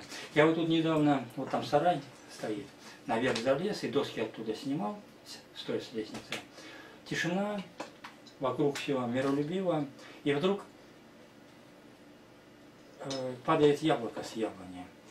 Это падает, это звук такой, это переживание, это ветки колышутся. Вот Мортал Кустанеды там есть, когда созерцают сопки, значит ветер, когда гуляет по кустам, это как некая сущность э, переживается. Или там даже ветку, где-то у нее есть ветку или тряпку колышет ветер, это э, ну, в связи с искажением восприятия воспринимается как тоже сущность, когда узнается, что это тряпка, то... И это такое переживание, это именно дзеновское переживание. И в чем оно, я э, по ходу дела переключился немножко еще на одну ветку рассуждения. Но вот я думаю, так будет удобно ее подсказать. Вот. Потом вернуться к, к этому, значит. Что, э, кстати, э, есть такая тоже хайка, не, не помню автора, что далеко-далеко в лесу с куста упала ягода. И я вот до этого, как бы мы это читали, я даже, мы придумали такой способ внутренней работы, ну вот как раз вот эта драматизация, развитие внутреннего пространства. Мы брали какие-то, ну в первую очередь вот японские хайпы, они к, к этому более тяготеют. И делали из них э, просто двухстишие и затягивали первую строку, ну, долго-долго. В данном случае, например, далеко-далеко в лесу, далеко-далеко в лесу, далеко-далеко в лесу. И можно говорить много, пока не почувствуешь, что пора закончить, и в лесу упала яблоня. И вот это внутреннее протягивание, то есть э, протягивание по пространству далеко-далеко, и мне вот, э, вот это пространство, которое вот здесь, значит, я здесь вырос, и это пространство э, ну, знаю местность, ландшафт, скажем так. И я тянусь все дальше и дальше, и в те места, которые я как помню, что они глухие, там очень глухой лес, я до туда дотягиваюсь. И э, потом даже переключаясь на то, что на Алтае там один очень глухой лес был, мне пришлось однажды забрести туда, как бы, вот такие, значит, елки или лиственницы, не помню, вот так повалены, значит, и я там, и такая глухомань. И это так, ощущение такой далекости, и сам Алтай, и это, и это вот это расширение пространства, попытка, попытка внутренне объять, необъятное, ну, максимально, значит, объять, причем э, пространство, вот, допустим, мы, когда пережив... осознаем пространство так, как мы его обычно осознаем, ну, из мышления, мы э, фактически не само пространство, как бы имеем дело не с самим пространством, а с его картой. А наше пространство это столько, сколько мы можем внутренне наполнить вот каким-то своим присутствием, вот скажем так. Оно, во-первых, переживается, вот когда, э, допустим, ну, у меня было, вот я описываю там, где шоковое переживание, когда меня, мне удалось проскочить, э, вдруг я до этого занимался расслаблением, и вдруг удалось куда-то проскочить в какое-то пространство, где, ну, ничего нет. Ну, пространство, может быть, там даже, может, и пространства не, не было, скажем так. Это чистый вот этот, ну, проход мы э, сказали.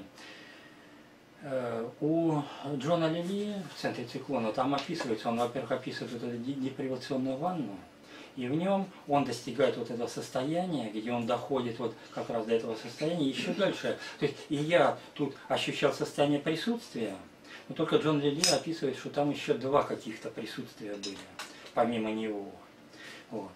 Но для меня было вот одно мое присутствие – и больше ничего. Причем пока туда погружался, пришлось пройти зону ужаса. И первый раз вот это погружение, причем оно э, как бы то ли погружение, то ли всплытие. То есть можно и так, и так описывать, вот как-то погружение, те расплытие. Ну, смотря на что опираться, это уже когда описываешь, как бы. Ну, это вот проход, скажем тогда так. И вот этот э, ужас, как бы он не пропустил туда. А э, второй раз удалось быстренько проскочить и оказаться вот в этом пространстве чистого присутствия. И теперь, может быть, более слабый опыт этого переживания, вот такое иногда, значит, происходит, что когда просыпаешься и еще, э, то есть просыпаешься и не проснулся, между сном и бодрствованием зависаешь, и не даешь себе, э, то есть находишься в осознанном состоянии, не даешь возможности себя всплыть в бодрствовании, то есть увеличить вот этот уровень активности или возбуждения. И э, состояние вот как раз всплытия из небытия, потому что всплытие, в общем-то, не, даже не из сна со сновидений, а из сна без сновидений происходит, можно сказать, вот из того состояния, ну, почти смерти, хотя смерть еще может быть, дальше которых за дзен удается достичь состояния. Вот. И, значит, в этом состоянии можно еще зависать, то есть управлять. Вроде хочется всплыть и поскорее сориентироваться. Во-первых, кто ты такой, как тебя зовут, где ты находишься. Я вот первый раз, как бы это у меня стало получаться, я когда на трех работах работал, где-то там в котельной, где-то охранником, и вот так. И, и начинаешь вспоминать, а, то есть не знаешь, где ты, в каком помещении, ну, в каком месте находишься. И даже казалось, что стоит только какое-то себе задать, э, ну, место всплытия, и ты там, значит, всплывешь. Но на самом деле тут же ловишься на том, что что-то внутри себя все-таки уже знает, какой-то есть, э, ну, где ты находишься, то есть всплыть в другом месте навряд ли мне бы удалось. Вот. И вот это состояние э, чи, чистого самоосознания – где нет внешнего мира. И, в общем-то, я вначале это описывал, пытался описать, что там есть ощущение пространства, но вот похоже, вот то первичное, самое первое состояние, где вот этот чистый проход, значит, там, пожалуй, и состояние, и ощущение пространства как будто бы не было. Просто присутствие. Это первое, что есть. И вот, значит, возвращаясь к карте космоса, то есть если вот эти глубины, то есть вначале обнаруживаешь в себе вот то, что вот эта стойкость я назвал. И оно, может быть, и есть вот это ощущение присутствия, хотя вообще-то нет, как бы присутствие самосознанием, если я так дальше стал разбираться, это оно по другой оси находится. А по этой оси, значит, получается, находится стойкость, потом активность, это вот то, что, на что субъект разложился. в сокращенном варианте, можно там и побольше разложить.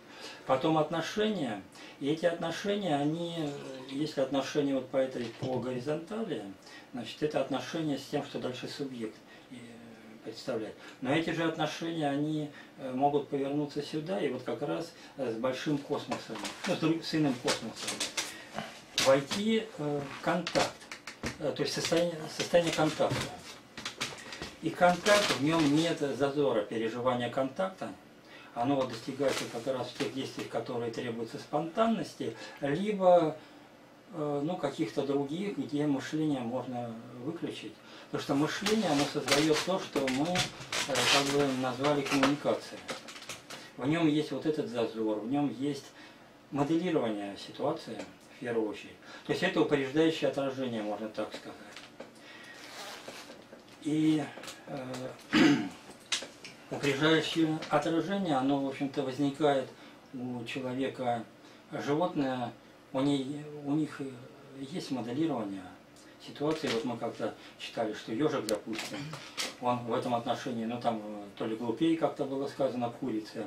То есть когда исследователь ставит фанерку, протягивает кормушку на веревочке, один, второй исследователь, значит, держит этого ежика, и от, когда кормушка заехала за фанерку, он его отпускает. Ежик, какой бы интервал времени тут не прошел, он бежит всегда туда, где исчез. Исчезла кормушка. А курица уже бежит туда, где она должна появиться. И вот, кстати, у нас тут раньше ну, родители кур держали. И с курами иногда начинаешь разговаривать, ну как разговаривать, или разговаривать, или еще лучше посвистывать им что-то.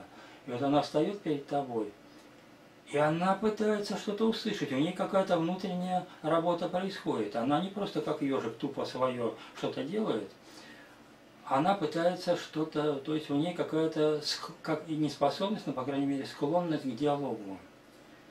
У нас еще понятие триалог потом возникает, где вот в результате вот этого контакта возникает полное сопряжение, ну вот в айкидо это мусуби называется, это вот как раз коллектив, то, что создает основу коллективизма, ну и других может. Ну и может быть в конечном счете соборность, если ее правильно понять, не на уровне, соборность не на уровне ума, а на уровне непосредственного, непосредственности. Вот у непосредственность опосредованность. За, без вот это, где ситуация контакта, вот эта позиция контакта, без зазорные отношения с другим, ну, космосом, с другим объектом, с миром, скажем, можно так говорить. А уже когда а, а, из отношения, из расчета, то есть это манипулятивные отношения, манипулятивные, связанные с просчетом. Э, и, значит, э, там не, ну разум, ну, давайте согласимся с тем, что действительно разум по всей Вселенной разлит, интенсивность разная, там в одном месте больше, в человеке его собрал, скажем, больше, чем в камне, да, там, но тем не менее, больше, чем в камне собралось у той же собаки там, и другого животного. То есть разум это нечто такое перманентное, присутствующее, присутствующее везде. Ну вот я, поскольку мы опираемся на опыт, я этого не чувствую. То есть когда вот э, единственная медитация, которая вот мне, ну медитация имею в виду какие-то психологические установки, там вот почувствовать и то это, которая мне понравилась, как-то я встретил, это вот возле камня, ну представьте себе даже камень, вот у нас в лесу есть такой камень хороший, я его представляю, или даже к нему могу подойти, и вот что э, вы это он, можно даже позу соответствующую принять, и вот у вас спина порастает мхом, вы лежите, пролетают зимы, лето, зима, вы медленно погружаетесь, и вот это состояние вот этого камня, оно мне очень отвлекалось, вот эта медитация. И сейчас я понимаю так, что в ней я вот как раз обнаружила вот то, что я вот эту стойкость сказал. Э, переживание может моей стойкости через... Ну, обычно про, про объект говорят, что объект стойкий, а субъект он как бы пластичный. Ведь, ведь мир как бы нам сопротивляется, да, он является материальным, тут, он является... Тут получается, что когда мы эту карту космоса и уже двух космосов рисуем, у нас получается буква X. Мы, значит, одну цепочку выстраиваем, вот это мы, наш космос, а другой соприкасающийся, он космос. И тут мы вот отсюда перетекаем вот как раз в активность, если оно есть через, ну, во внешние вещи, и вплоть до стойкости, и пытаемся часто эту стойкость разлагая, допустим, как э, вот, разлагая атом, или термоядерной реакции получить энергию, то есть активность. А, то есть э, здесь вот еще вот такая цепочка возникает отношений уже, ну, с миром, скажем так, с внешним космосом. А значит, если двигаться по цепочке вот своего космоса, микрокосмоса, то значит, субъект, э, стойкость, активность, потом вот это э, отношение, то, что мы контактом назвали. А затем еще две позиции. Позиция восприятия и, э, и идеального. Между ними между всеми этими позициями можно как еще две, когда они как бы, ну, то ли схематически это изобразить в виде кружочков, как накладываются друг на друга, вот сейчас на, э, с, на философском штурме и у Сергея Порчикова, да, там есть вот эта схема напечатанная, и у, у Палиха тоже подобное что-то.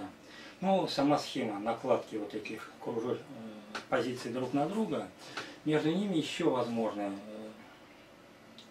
э, э, найти некоторые состояния. И вот между стойкостью и активностью э, ситуация напряжения. Напряжение, тонус, яростность. Яростность, это, кстати, вот в русских традициях было Э, кстати, много слов с корнем яр. Ну там яр не просто э, как гневаться состояние, а ярица это некоторый был да, даже способ активности, чистой активности в себе, скажем так. И вот эти э, лес сосновый, допустим, яром, ну, не только сосновый, по-моему, березовый, но вот что-то вот с таким хорошим местом по энергетике назывался яром. Но имена там Ярославна, Ярослав, даже Ярополк еще куча имен с этим. И вот в традициях и боевых, например, искусств там было вот это, нарабатывалась способность яриться. Допустим, это еще вот и сейчас, но вот лет 20 назад, еще когда русские искусства до конца боевые не вымерли, их изучали и показывали, ну, если э, в интернете, значит, съемки, там, допустим, э, в русских искусствах под гармошку или под балалайку парни, значит, собирались и начинали танцевать, как-то звализаться друг другу, бить. Ну, как, собственно говоря, вот какие, ну, боксер, чтобы себя возбудить как-то, он может, значит, постучать, или хоккеисты собрались... Ну, типа спортивная злость. Спортивная злость, да. Это вот из этого места. Вот. И вот это, значит, я, то есть научиться входить в состояние вот этого э, активности мгновенно. Определим мгновенно, но нарабатывается оно вот так медленно, а потом ты в ситуации, когда спонтанная даже возникает боевая ситуация, ты сразу в нее входишь, включаешь вот эти все свои ресурсы, причем осознанно, ты не гнев, это не эмоция, или если ну, это, это, вот эта активность контролируемая и вот. Это значит ярится. А ярится, как вот сейчас, э, раньше это было не так актуально, а сейчас как бы э, ну, вот культура пытается разви поднять флаг сексуальности, что ли, так скажем. И вот это э, то, тоже, значит, это относится к этому состоянию.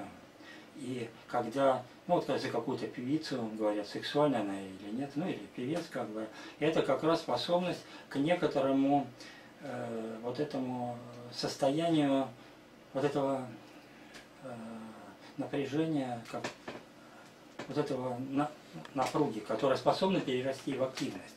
Но часто она сама, как продукт, например, э, эти самые стриптиз. Как продукты, которые платят очень много денег и приходят туда для того, чтобы поднять свое некоторое возбуждение. Может быть поднять, может разработать свои какие-то э, емкости вот эти энергетические, которые вот у Монтека Чиа, он за даосскую йогу пишет, у него есть техника сексуальной практики, и он очень хорошо описывает, хотя этого же можно достигать и другими практиками, у меня там работа с пятью полыми органами, по-моему, шесть целительных звуков, э, ну, работа с органами, как бы он показывает, что это с этим связано. Это значит то, что позиция между первой и второй, между стойкостью и активностью. Между активностью и контактом, вот, это как раз и есть житие. То, что мы назвали житием. Это проживание и активности, и состояние контакта. Контакта может и в себе со своими какими-то вот, кстати, сейчас о ВКонтакте немножко это сам.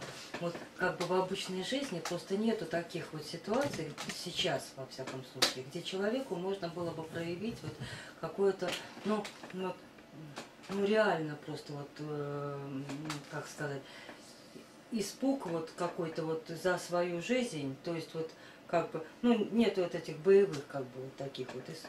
А у нас с Алексеем вот пару раз, может быть, была такая ситуация, он реально как бы на меня это самое наступает, да, я пропускаю, ну, и получается так, что я испытываю это, мгнов... ну, вот, состояние мгновенной смерти. Ну. То есть я пропускаю удар там или что-то. Вот. То есть я пон... Э, это контролируемо. Да. То есть просто это настолько воспринимается телом реальность, сознание знает, что это контролируемо. Да. Но тело воспринимает все это за... Да.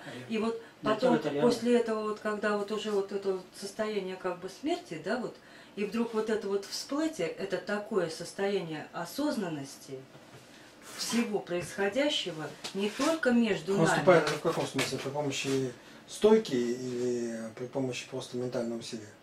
Ну, это типа стрессовое. Удар, в котором ментальное усилие вложено, то есть и все а, понимают. То есть именно, стойка, да? во-первых, пограничные состояния. Мы, про, мы пробовали с шестами, ну, палка дзё кидо называется. И вначале я изображаю реальный удар, но вот я поскольку занимался контактными, там как бы удар проводится на той дистанции, не так, что не контактно. А удар, то есть если он пройдет, он пройдет дальше, но он вовремя останавливается. Это удар. И он чувствуется, что он может продолжиться. Это не просто шлепок, вот этот пустой, а он может продолжиться этот удар. И тело переживает. То есть для тела можно вот такой опыт произвести. Один, значит, человек э, закрывает глаза, ну, простой как бы. Другой начинает, сжимает кулак и подносит его, ну, как бы ударяя к солнечному сплетению. Солнечное сплетение очень чувствительно, человек чувствует вот это поднесение. Если пустым кулаком, не наполненной рукой это делать, то этого не слышно. Поэтому вот все те, как бы, когда человека сзади там пытаются ножом ударить, понятно, что это слышно как тело достаточно с ним поработать, оно слышит. Оно обычного человека слышит, но человек не привык к этому обращать внимание на эти сигналы. Конечно. Чтобы достигнуть э, цели, ну, действительно, надо то есть вкладываться. И крик это то, что, э, ну, киай, как он называется, то, что синхронизирует вот как раз и сознательные наработки тела, то есть и сознательные, и вот то, что э, спонтан, спонтанность из себя представляет. Ну, а те ресурсы, которые у человека есть, которые, когда он способен машину приподнять, когда, значит, женщина, вот этот пример, когда, значит, ребенка придавила машиной, и она тяжелую машину приподнимает. Ну, есть эти ситуации, что есть э, ресурсы в организме. В общем, вот э, через этот крик, ну и вообще, кстати, такая тема, что в одном в боевых искусствах как бы Э, такая есть, э, как бы, ну, так говорится, что, мастера так говорят, что в одном ударе вся Вселенная. И вот этот удар, вот этот миг, который развертывается в целую Вселенную, э, такая вот интенсивность, плюс вот этот переход на проживание вот этого мига, как, собственно говоря, и в каких-то вот таких простых событиях, когда далеко-далеко в лесу с куста упала ягода или лягушка прыгнула в воду, вот этот всплеск воды. И в этом вот развертывании там вот как бы становится как бы настолько реально видно, что вот эта вся суета э, мира, такая она неважная, такая она вся какая-то мелкая. Ну, и вот как бы более глобальные какие-то вещи открываются. Которые... Ну, то есть, во-первых, находишь в себе именно живущих, вот этот поток жизни, а во-вторых,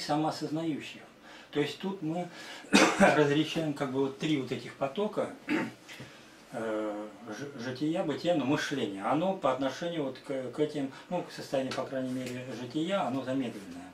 Но оно тоже возможно как стратегическое некоторое, ну, если оно, его можно контролировать, сильно не включать, не вовлекаться полностью туда. Э, немножко, то есть, урезать аппетиты, ну вот, скажем, у головы. Голова это по энергетике одна, по-моему, шестая часть организма, что ли, на себя забирает, как будто бы я где-то читал. И вот есть даже такие, значит, э, как бы образы, э, ну, народный фольклор, анекдоты. Даже очень такая интересная вещь, что даже хочется иногда что-то такое, типа анекдота Софии, как бы собрать вот мудрость, вот, которая по рассказам анекдотов, в очень коротких именно в русских потому что, может быть, у нас это раньше когда-то не печатали. Когда начинают печатать, это уже не анекдот, а это микрорассказ, который э, под эту форму, значит. Э. И, значит, есть такой анекдот, когда э, этот самый стучится вечером, значит, в окно стук. Э, бабулька, кто говорит там, да это, говорит, я служивый. Ну, ты, говорит, заходи. Да я не один, я с ефрейтором, говорит. Ну, пусть он, говорит, он прибежи его к забору, как и заходи. Ну, а ефрейтор это кто? Это как бы не вы, это тот, кто мечтает стать генералом. Вообще-то. И вот э, генерал, как бы есть такая тема в сказках, есть, когда солдат возвращается, вот я не знаю, это русская, по-моему, не русская, как бы, не русская народная сказка, а чья-то другая. Ну, сказки, э, сказки такие интернациональные, что вот, возвращается солдат со службы, наверное, 25 лет отслужив, и ему значит, встречается старушка, через речку перейти не может, немощная такая, говорит, перенеси меня, пожалуйста, это сам через реку. Ну, запросто, говорит, бабуля, садись на ключи. Она ему садится на плечи, он ее переносит, а она слезать не хочет, ноги зажимает, у нее тут вот эти мышцы партнярные, сильные, значит. И так и висит. И он вынужден, значит, чуть что, она, значит, сжимает ему. И он вынужден ее кормить, поить, там, все это. Но в конце концов он придумывает как-то, пока она спала, но ноги не разжимала, какую-то сонную ягоду, вино делает туда, кладет, она потом в конце концов прославляет эти ноги, он сбрасывает. А вот у Салтыкова-Щедрина еще в продолжении этого образа как бы есть такая э, как бы рассказ, сказка, что это как называется, как э, один мужик двух генералов кормил. То есть русский человек, он такой, у него такое тело мощное, как вот и этого Уильям Муромца. Вот. Ну, богатырская есть вот в теле и в природе, вот, что он даже двух генералов способен вынести. Ну и так, в общем-то, история показывает, что где-то так и происходит. Вот. И вот эта тема э, генерала и э, солдата, э, мы еще хотели напечатать как бы такое сообщение под названием э, этот плодовый сад. Угу. Или и в нем просто как бы вот эта схемка, которая в любых книгах еще как-то давнишние книги лежали, лежали 50-летней э, давности, как бы мичу, еще мичуринские как бы, книжки. То есть все эта технология не меняется. Как, значит, э, в плодовом саду, допустим, культурные деревья. То есть это отношение к культуре имеет. Ну и тем самым по аналогии с культурой, как культура э, человека, человечества. Вот. И там есть, значит, такое, что чтобы, чтобы яблоки были сочными, вкусными, но в то же время яблоня была жизнестойкой, то совмещают как бы то, что называют, то есть два дерева совмещают. Нижняя часть называется подвоем, верхняя привоем. То есть на какую-то дичку э, растений из данной местности, яблони, которые в лесу могут расти, например, они здесь адаптированы к этой э, к этим условиям, к местности. К ним прививаются культурные, может и южных, может э, с южных территорий, может выведенные. Они срастаются, иногда они не срастаются, делается промежуточный, еще подвой один, но, допустим, значит, один. Вот они срослись. И возникает вот эта ситуация привоя и подвоя. Ну, вот как раз вот этого генерала и старушки, или генерала, или вот этого, э, вернее, солдата и старушки, или солдата и генерала. Вот. И э, чтобы этот образ усилить, да и вообще, если внимательно посмотреть то надо нарисовать даже не, не, не, не просто вот этот образ, где одно на другим растет, а вот как раньше столбы делали, делают вначале один столб в землю закапывают, столбы электропроводки, а потом к нему привязывают проволокой второй столб. Чтобы вот этот, когда сгниет, вот этот столб остался живой, тут другой к нему вкапывают, привязывают как бы и меняют тем самым. Вот. Так вот, и хотелось бы вот такую, ну, то есть мы хотели такую картинку нарисовать, где, значит, полчеловека вот так, значит, обрубано, и к нему привита, значит, вторая часть. Она из себя представляет вот этого, значит, солдата и генерала. Ну, вообще-то это еще и базис и надстройка. И, э, ну, образ уже такой. Угу. И для симметрии можно, значит, еще прибавить еще одну такую надстройку. Да, это мы назвали фронтальный кентавр. Вот. Но ну, можно еще одну надстройку пристроить, это тело желаний. И оно вот там связано в ту сторону, где мы сейчас говорили от субъекта, где активность, э, ну вот в ту сторону, это в сторону, ну, может быть, сейчас сразу сопоставлять это так не будем, то есть вот это второе тело привитое, оно тело коммуникации, то есть то, что связано с мышлением, то есть человек живет из, мышля, из, из мышления, отчужденный от непосредственного проживания, от бытия, и постоянно это в себе обнаруживает и мучается, пытается как-то это найти, занимается какими-то духовными практиками, идет к психологам и не может. Вот еще такая вещь. То есть лечить надо не вот эту часть, пристроенную. А как бы выращивать, вот это, в общем-то, и есть большой разум, выращивать та часть, которая недоразвита, то есть человека естественного, то есть та э, часть, которая позволила человеку выжить, она связана с мышлением, с упреждением, с просчетом и с манипулятивным воздействием на природу, с ее оккультуриванием, устранением всех опасностей вокруг и так далее. Но она же не дает ему, э, то есть она же ему его беспокоит тем, что он чувствует себя а, отлученным от бытия. Вот. И вот как раз и не потерять завоевание вот, вот этой части, и вернуться ко второй, вот для этого, вот эта схема, она как бы показывает, а где это и как возможно, то есть схема имеется в виду вот этот, то, что мы через э, фронтального кентавра, значит, э, можем изобразить, или вот э, через вот этот Э, чертеж космоса, где вот эта ситуация контакта, она не только позволяет переживать вот этот контакт и в нем э, состояние жития, но еще в нем, это не просто состояние контакта, но еще взаимопроникновение вот тут возможно. Э, вот если говорить дальше про схему космоса, там по каждой позиции еще можно расписать вот эти положения, но вот сразу, поскольку у нас никак не доходит, сразу же сказать, что если эту, значит, можно между пятью вот этими, мы взяли вначале три объект,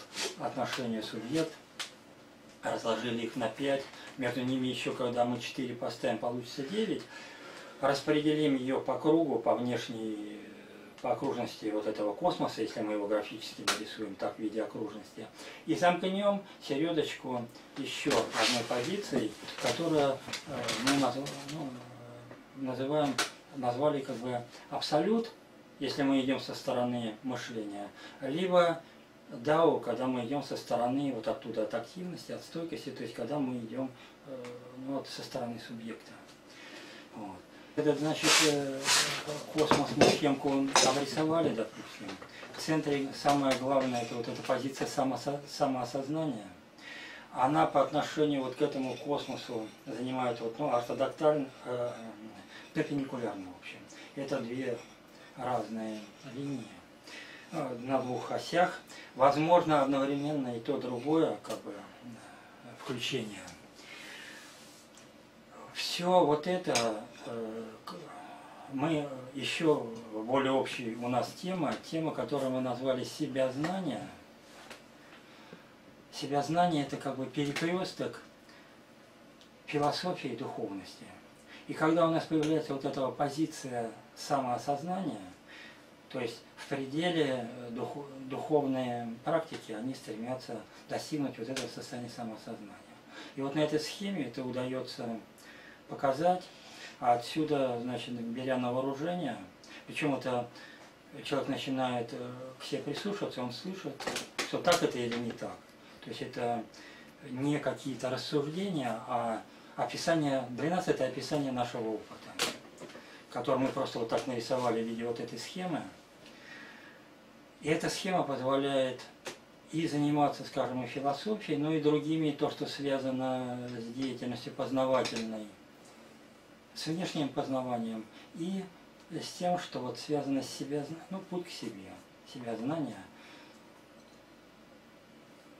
Ну, мне вот на самом деле единственное, что вы начали, ну единственное, что непонятно, вы начали с телесного человека, а заканчиваете духовным. Это у вас намерение такое было или как получилось?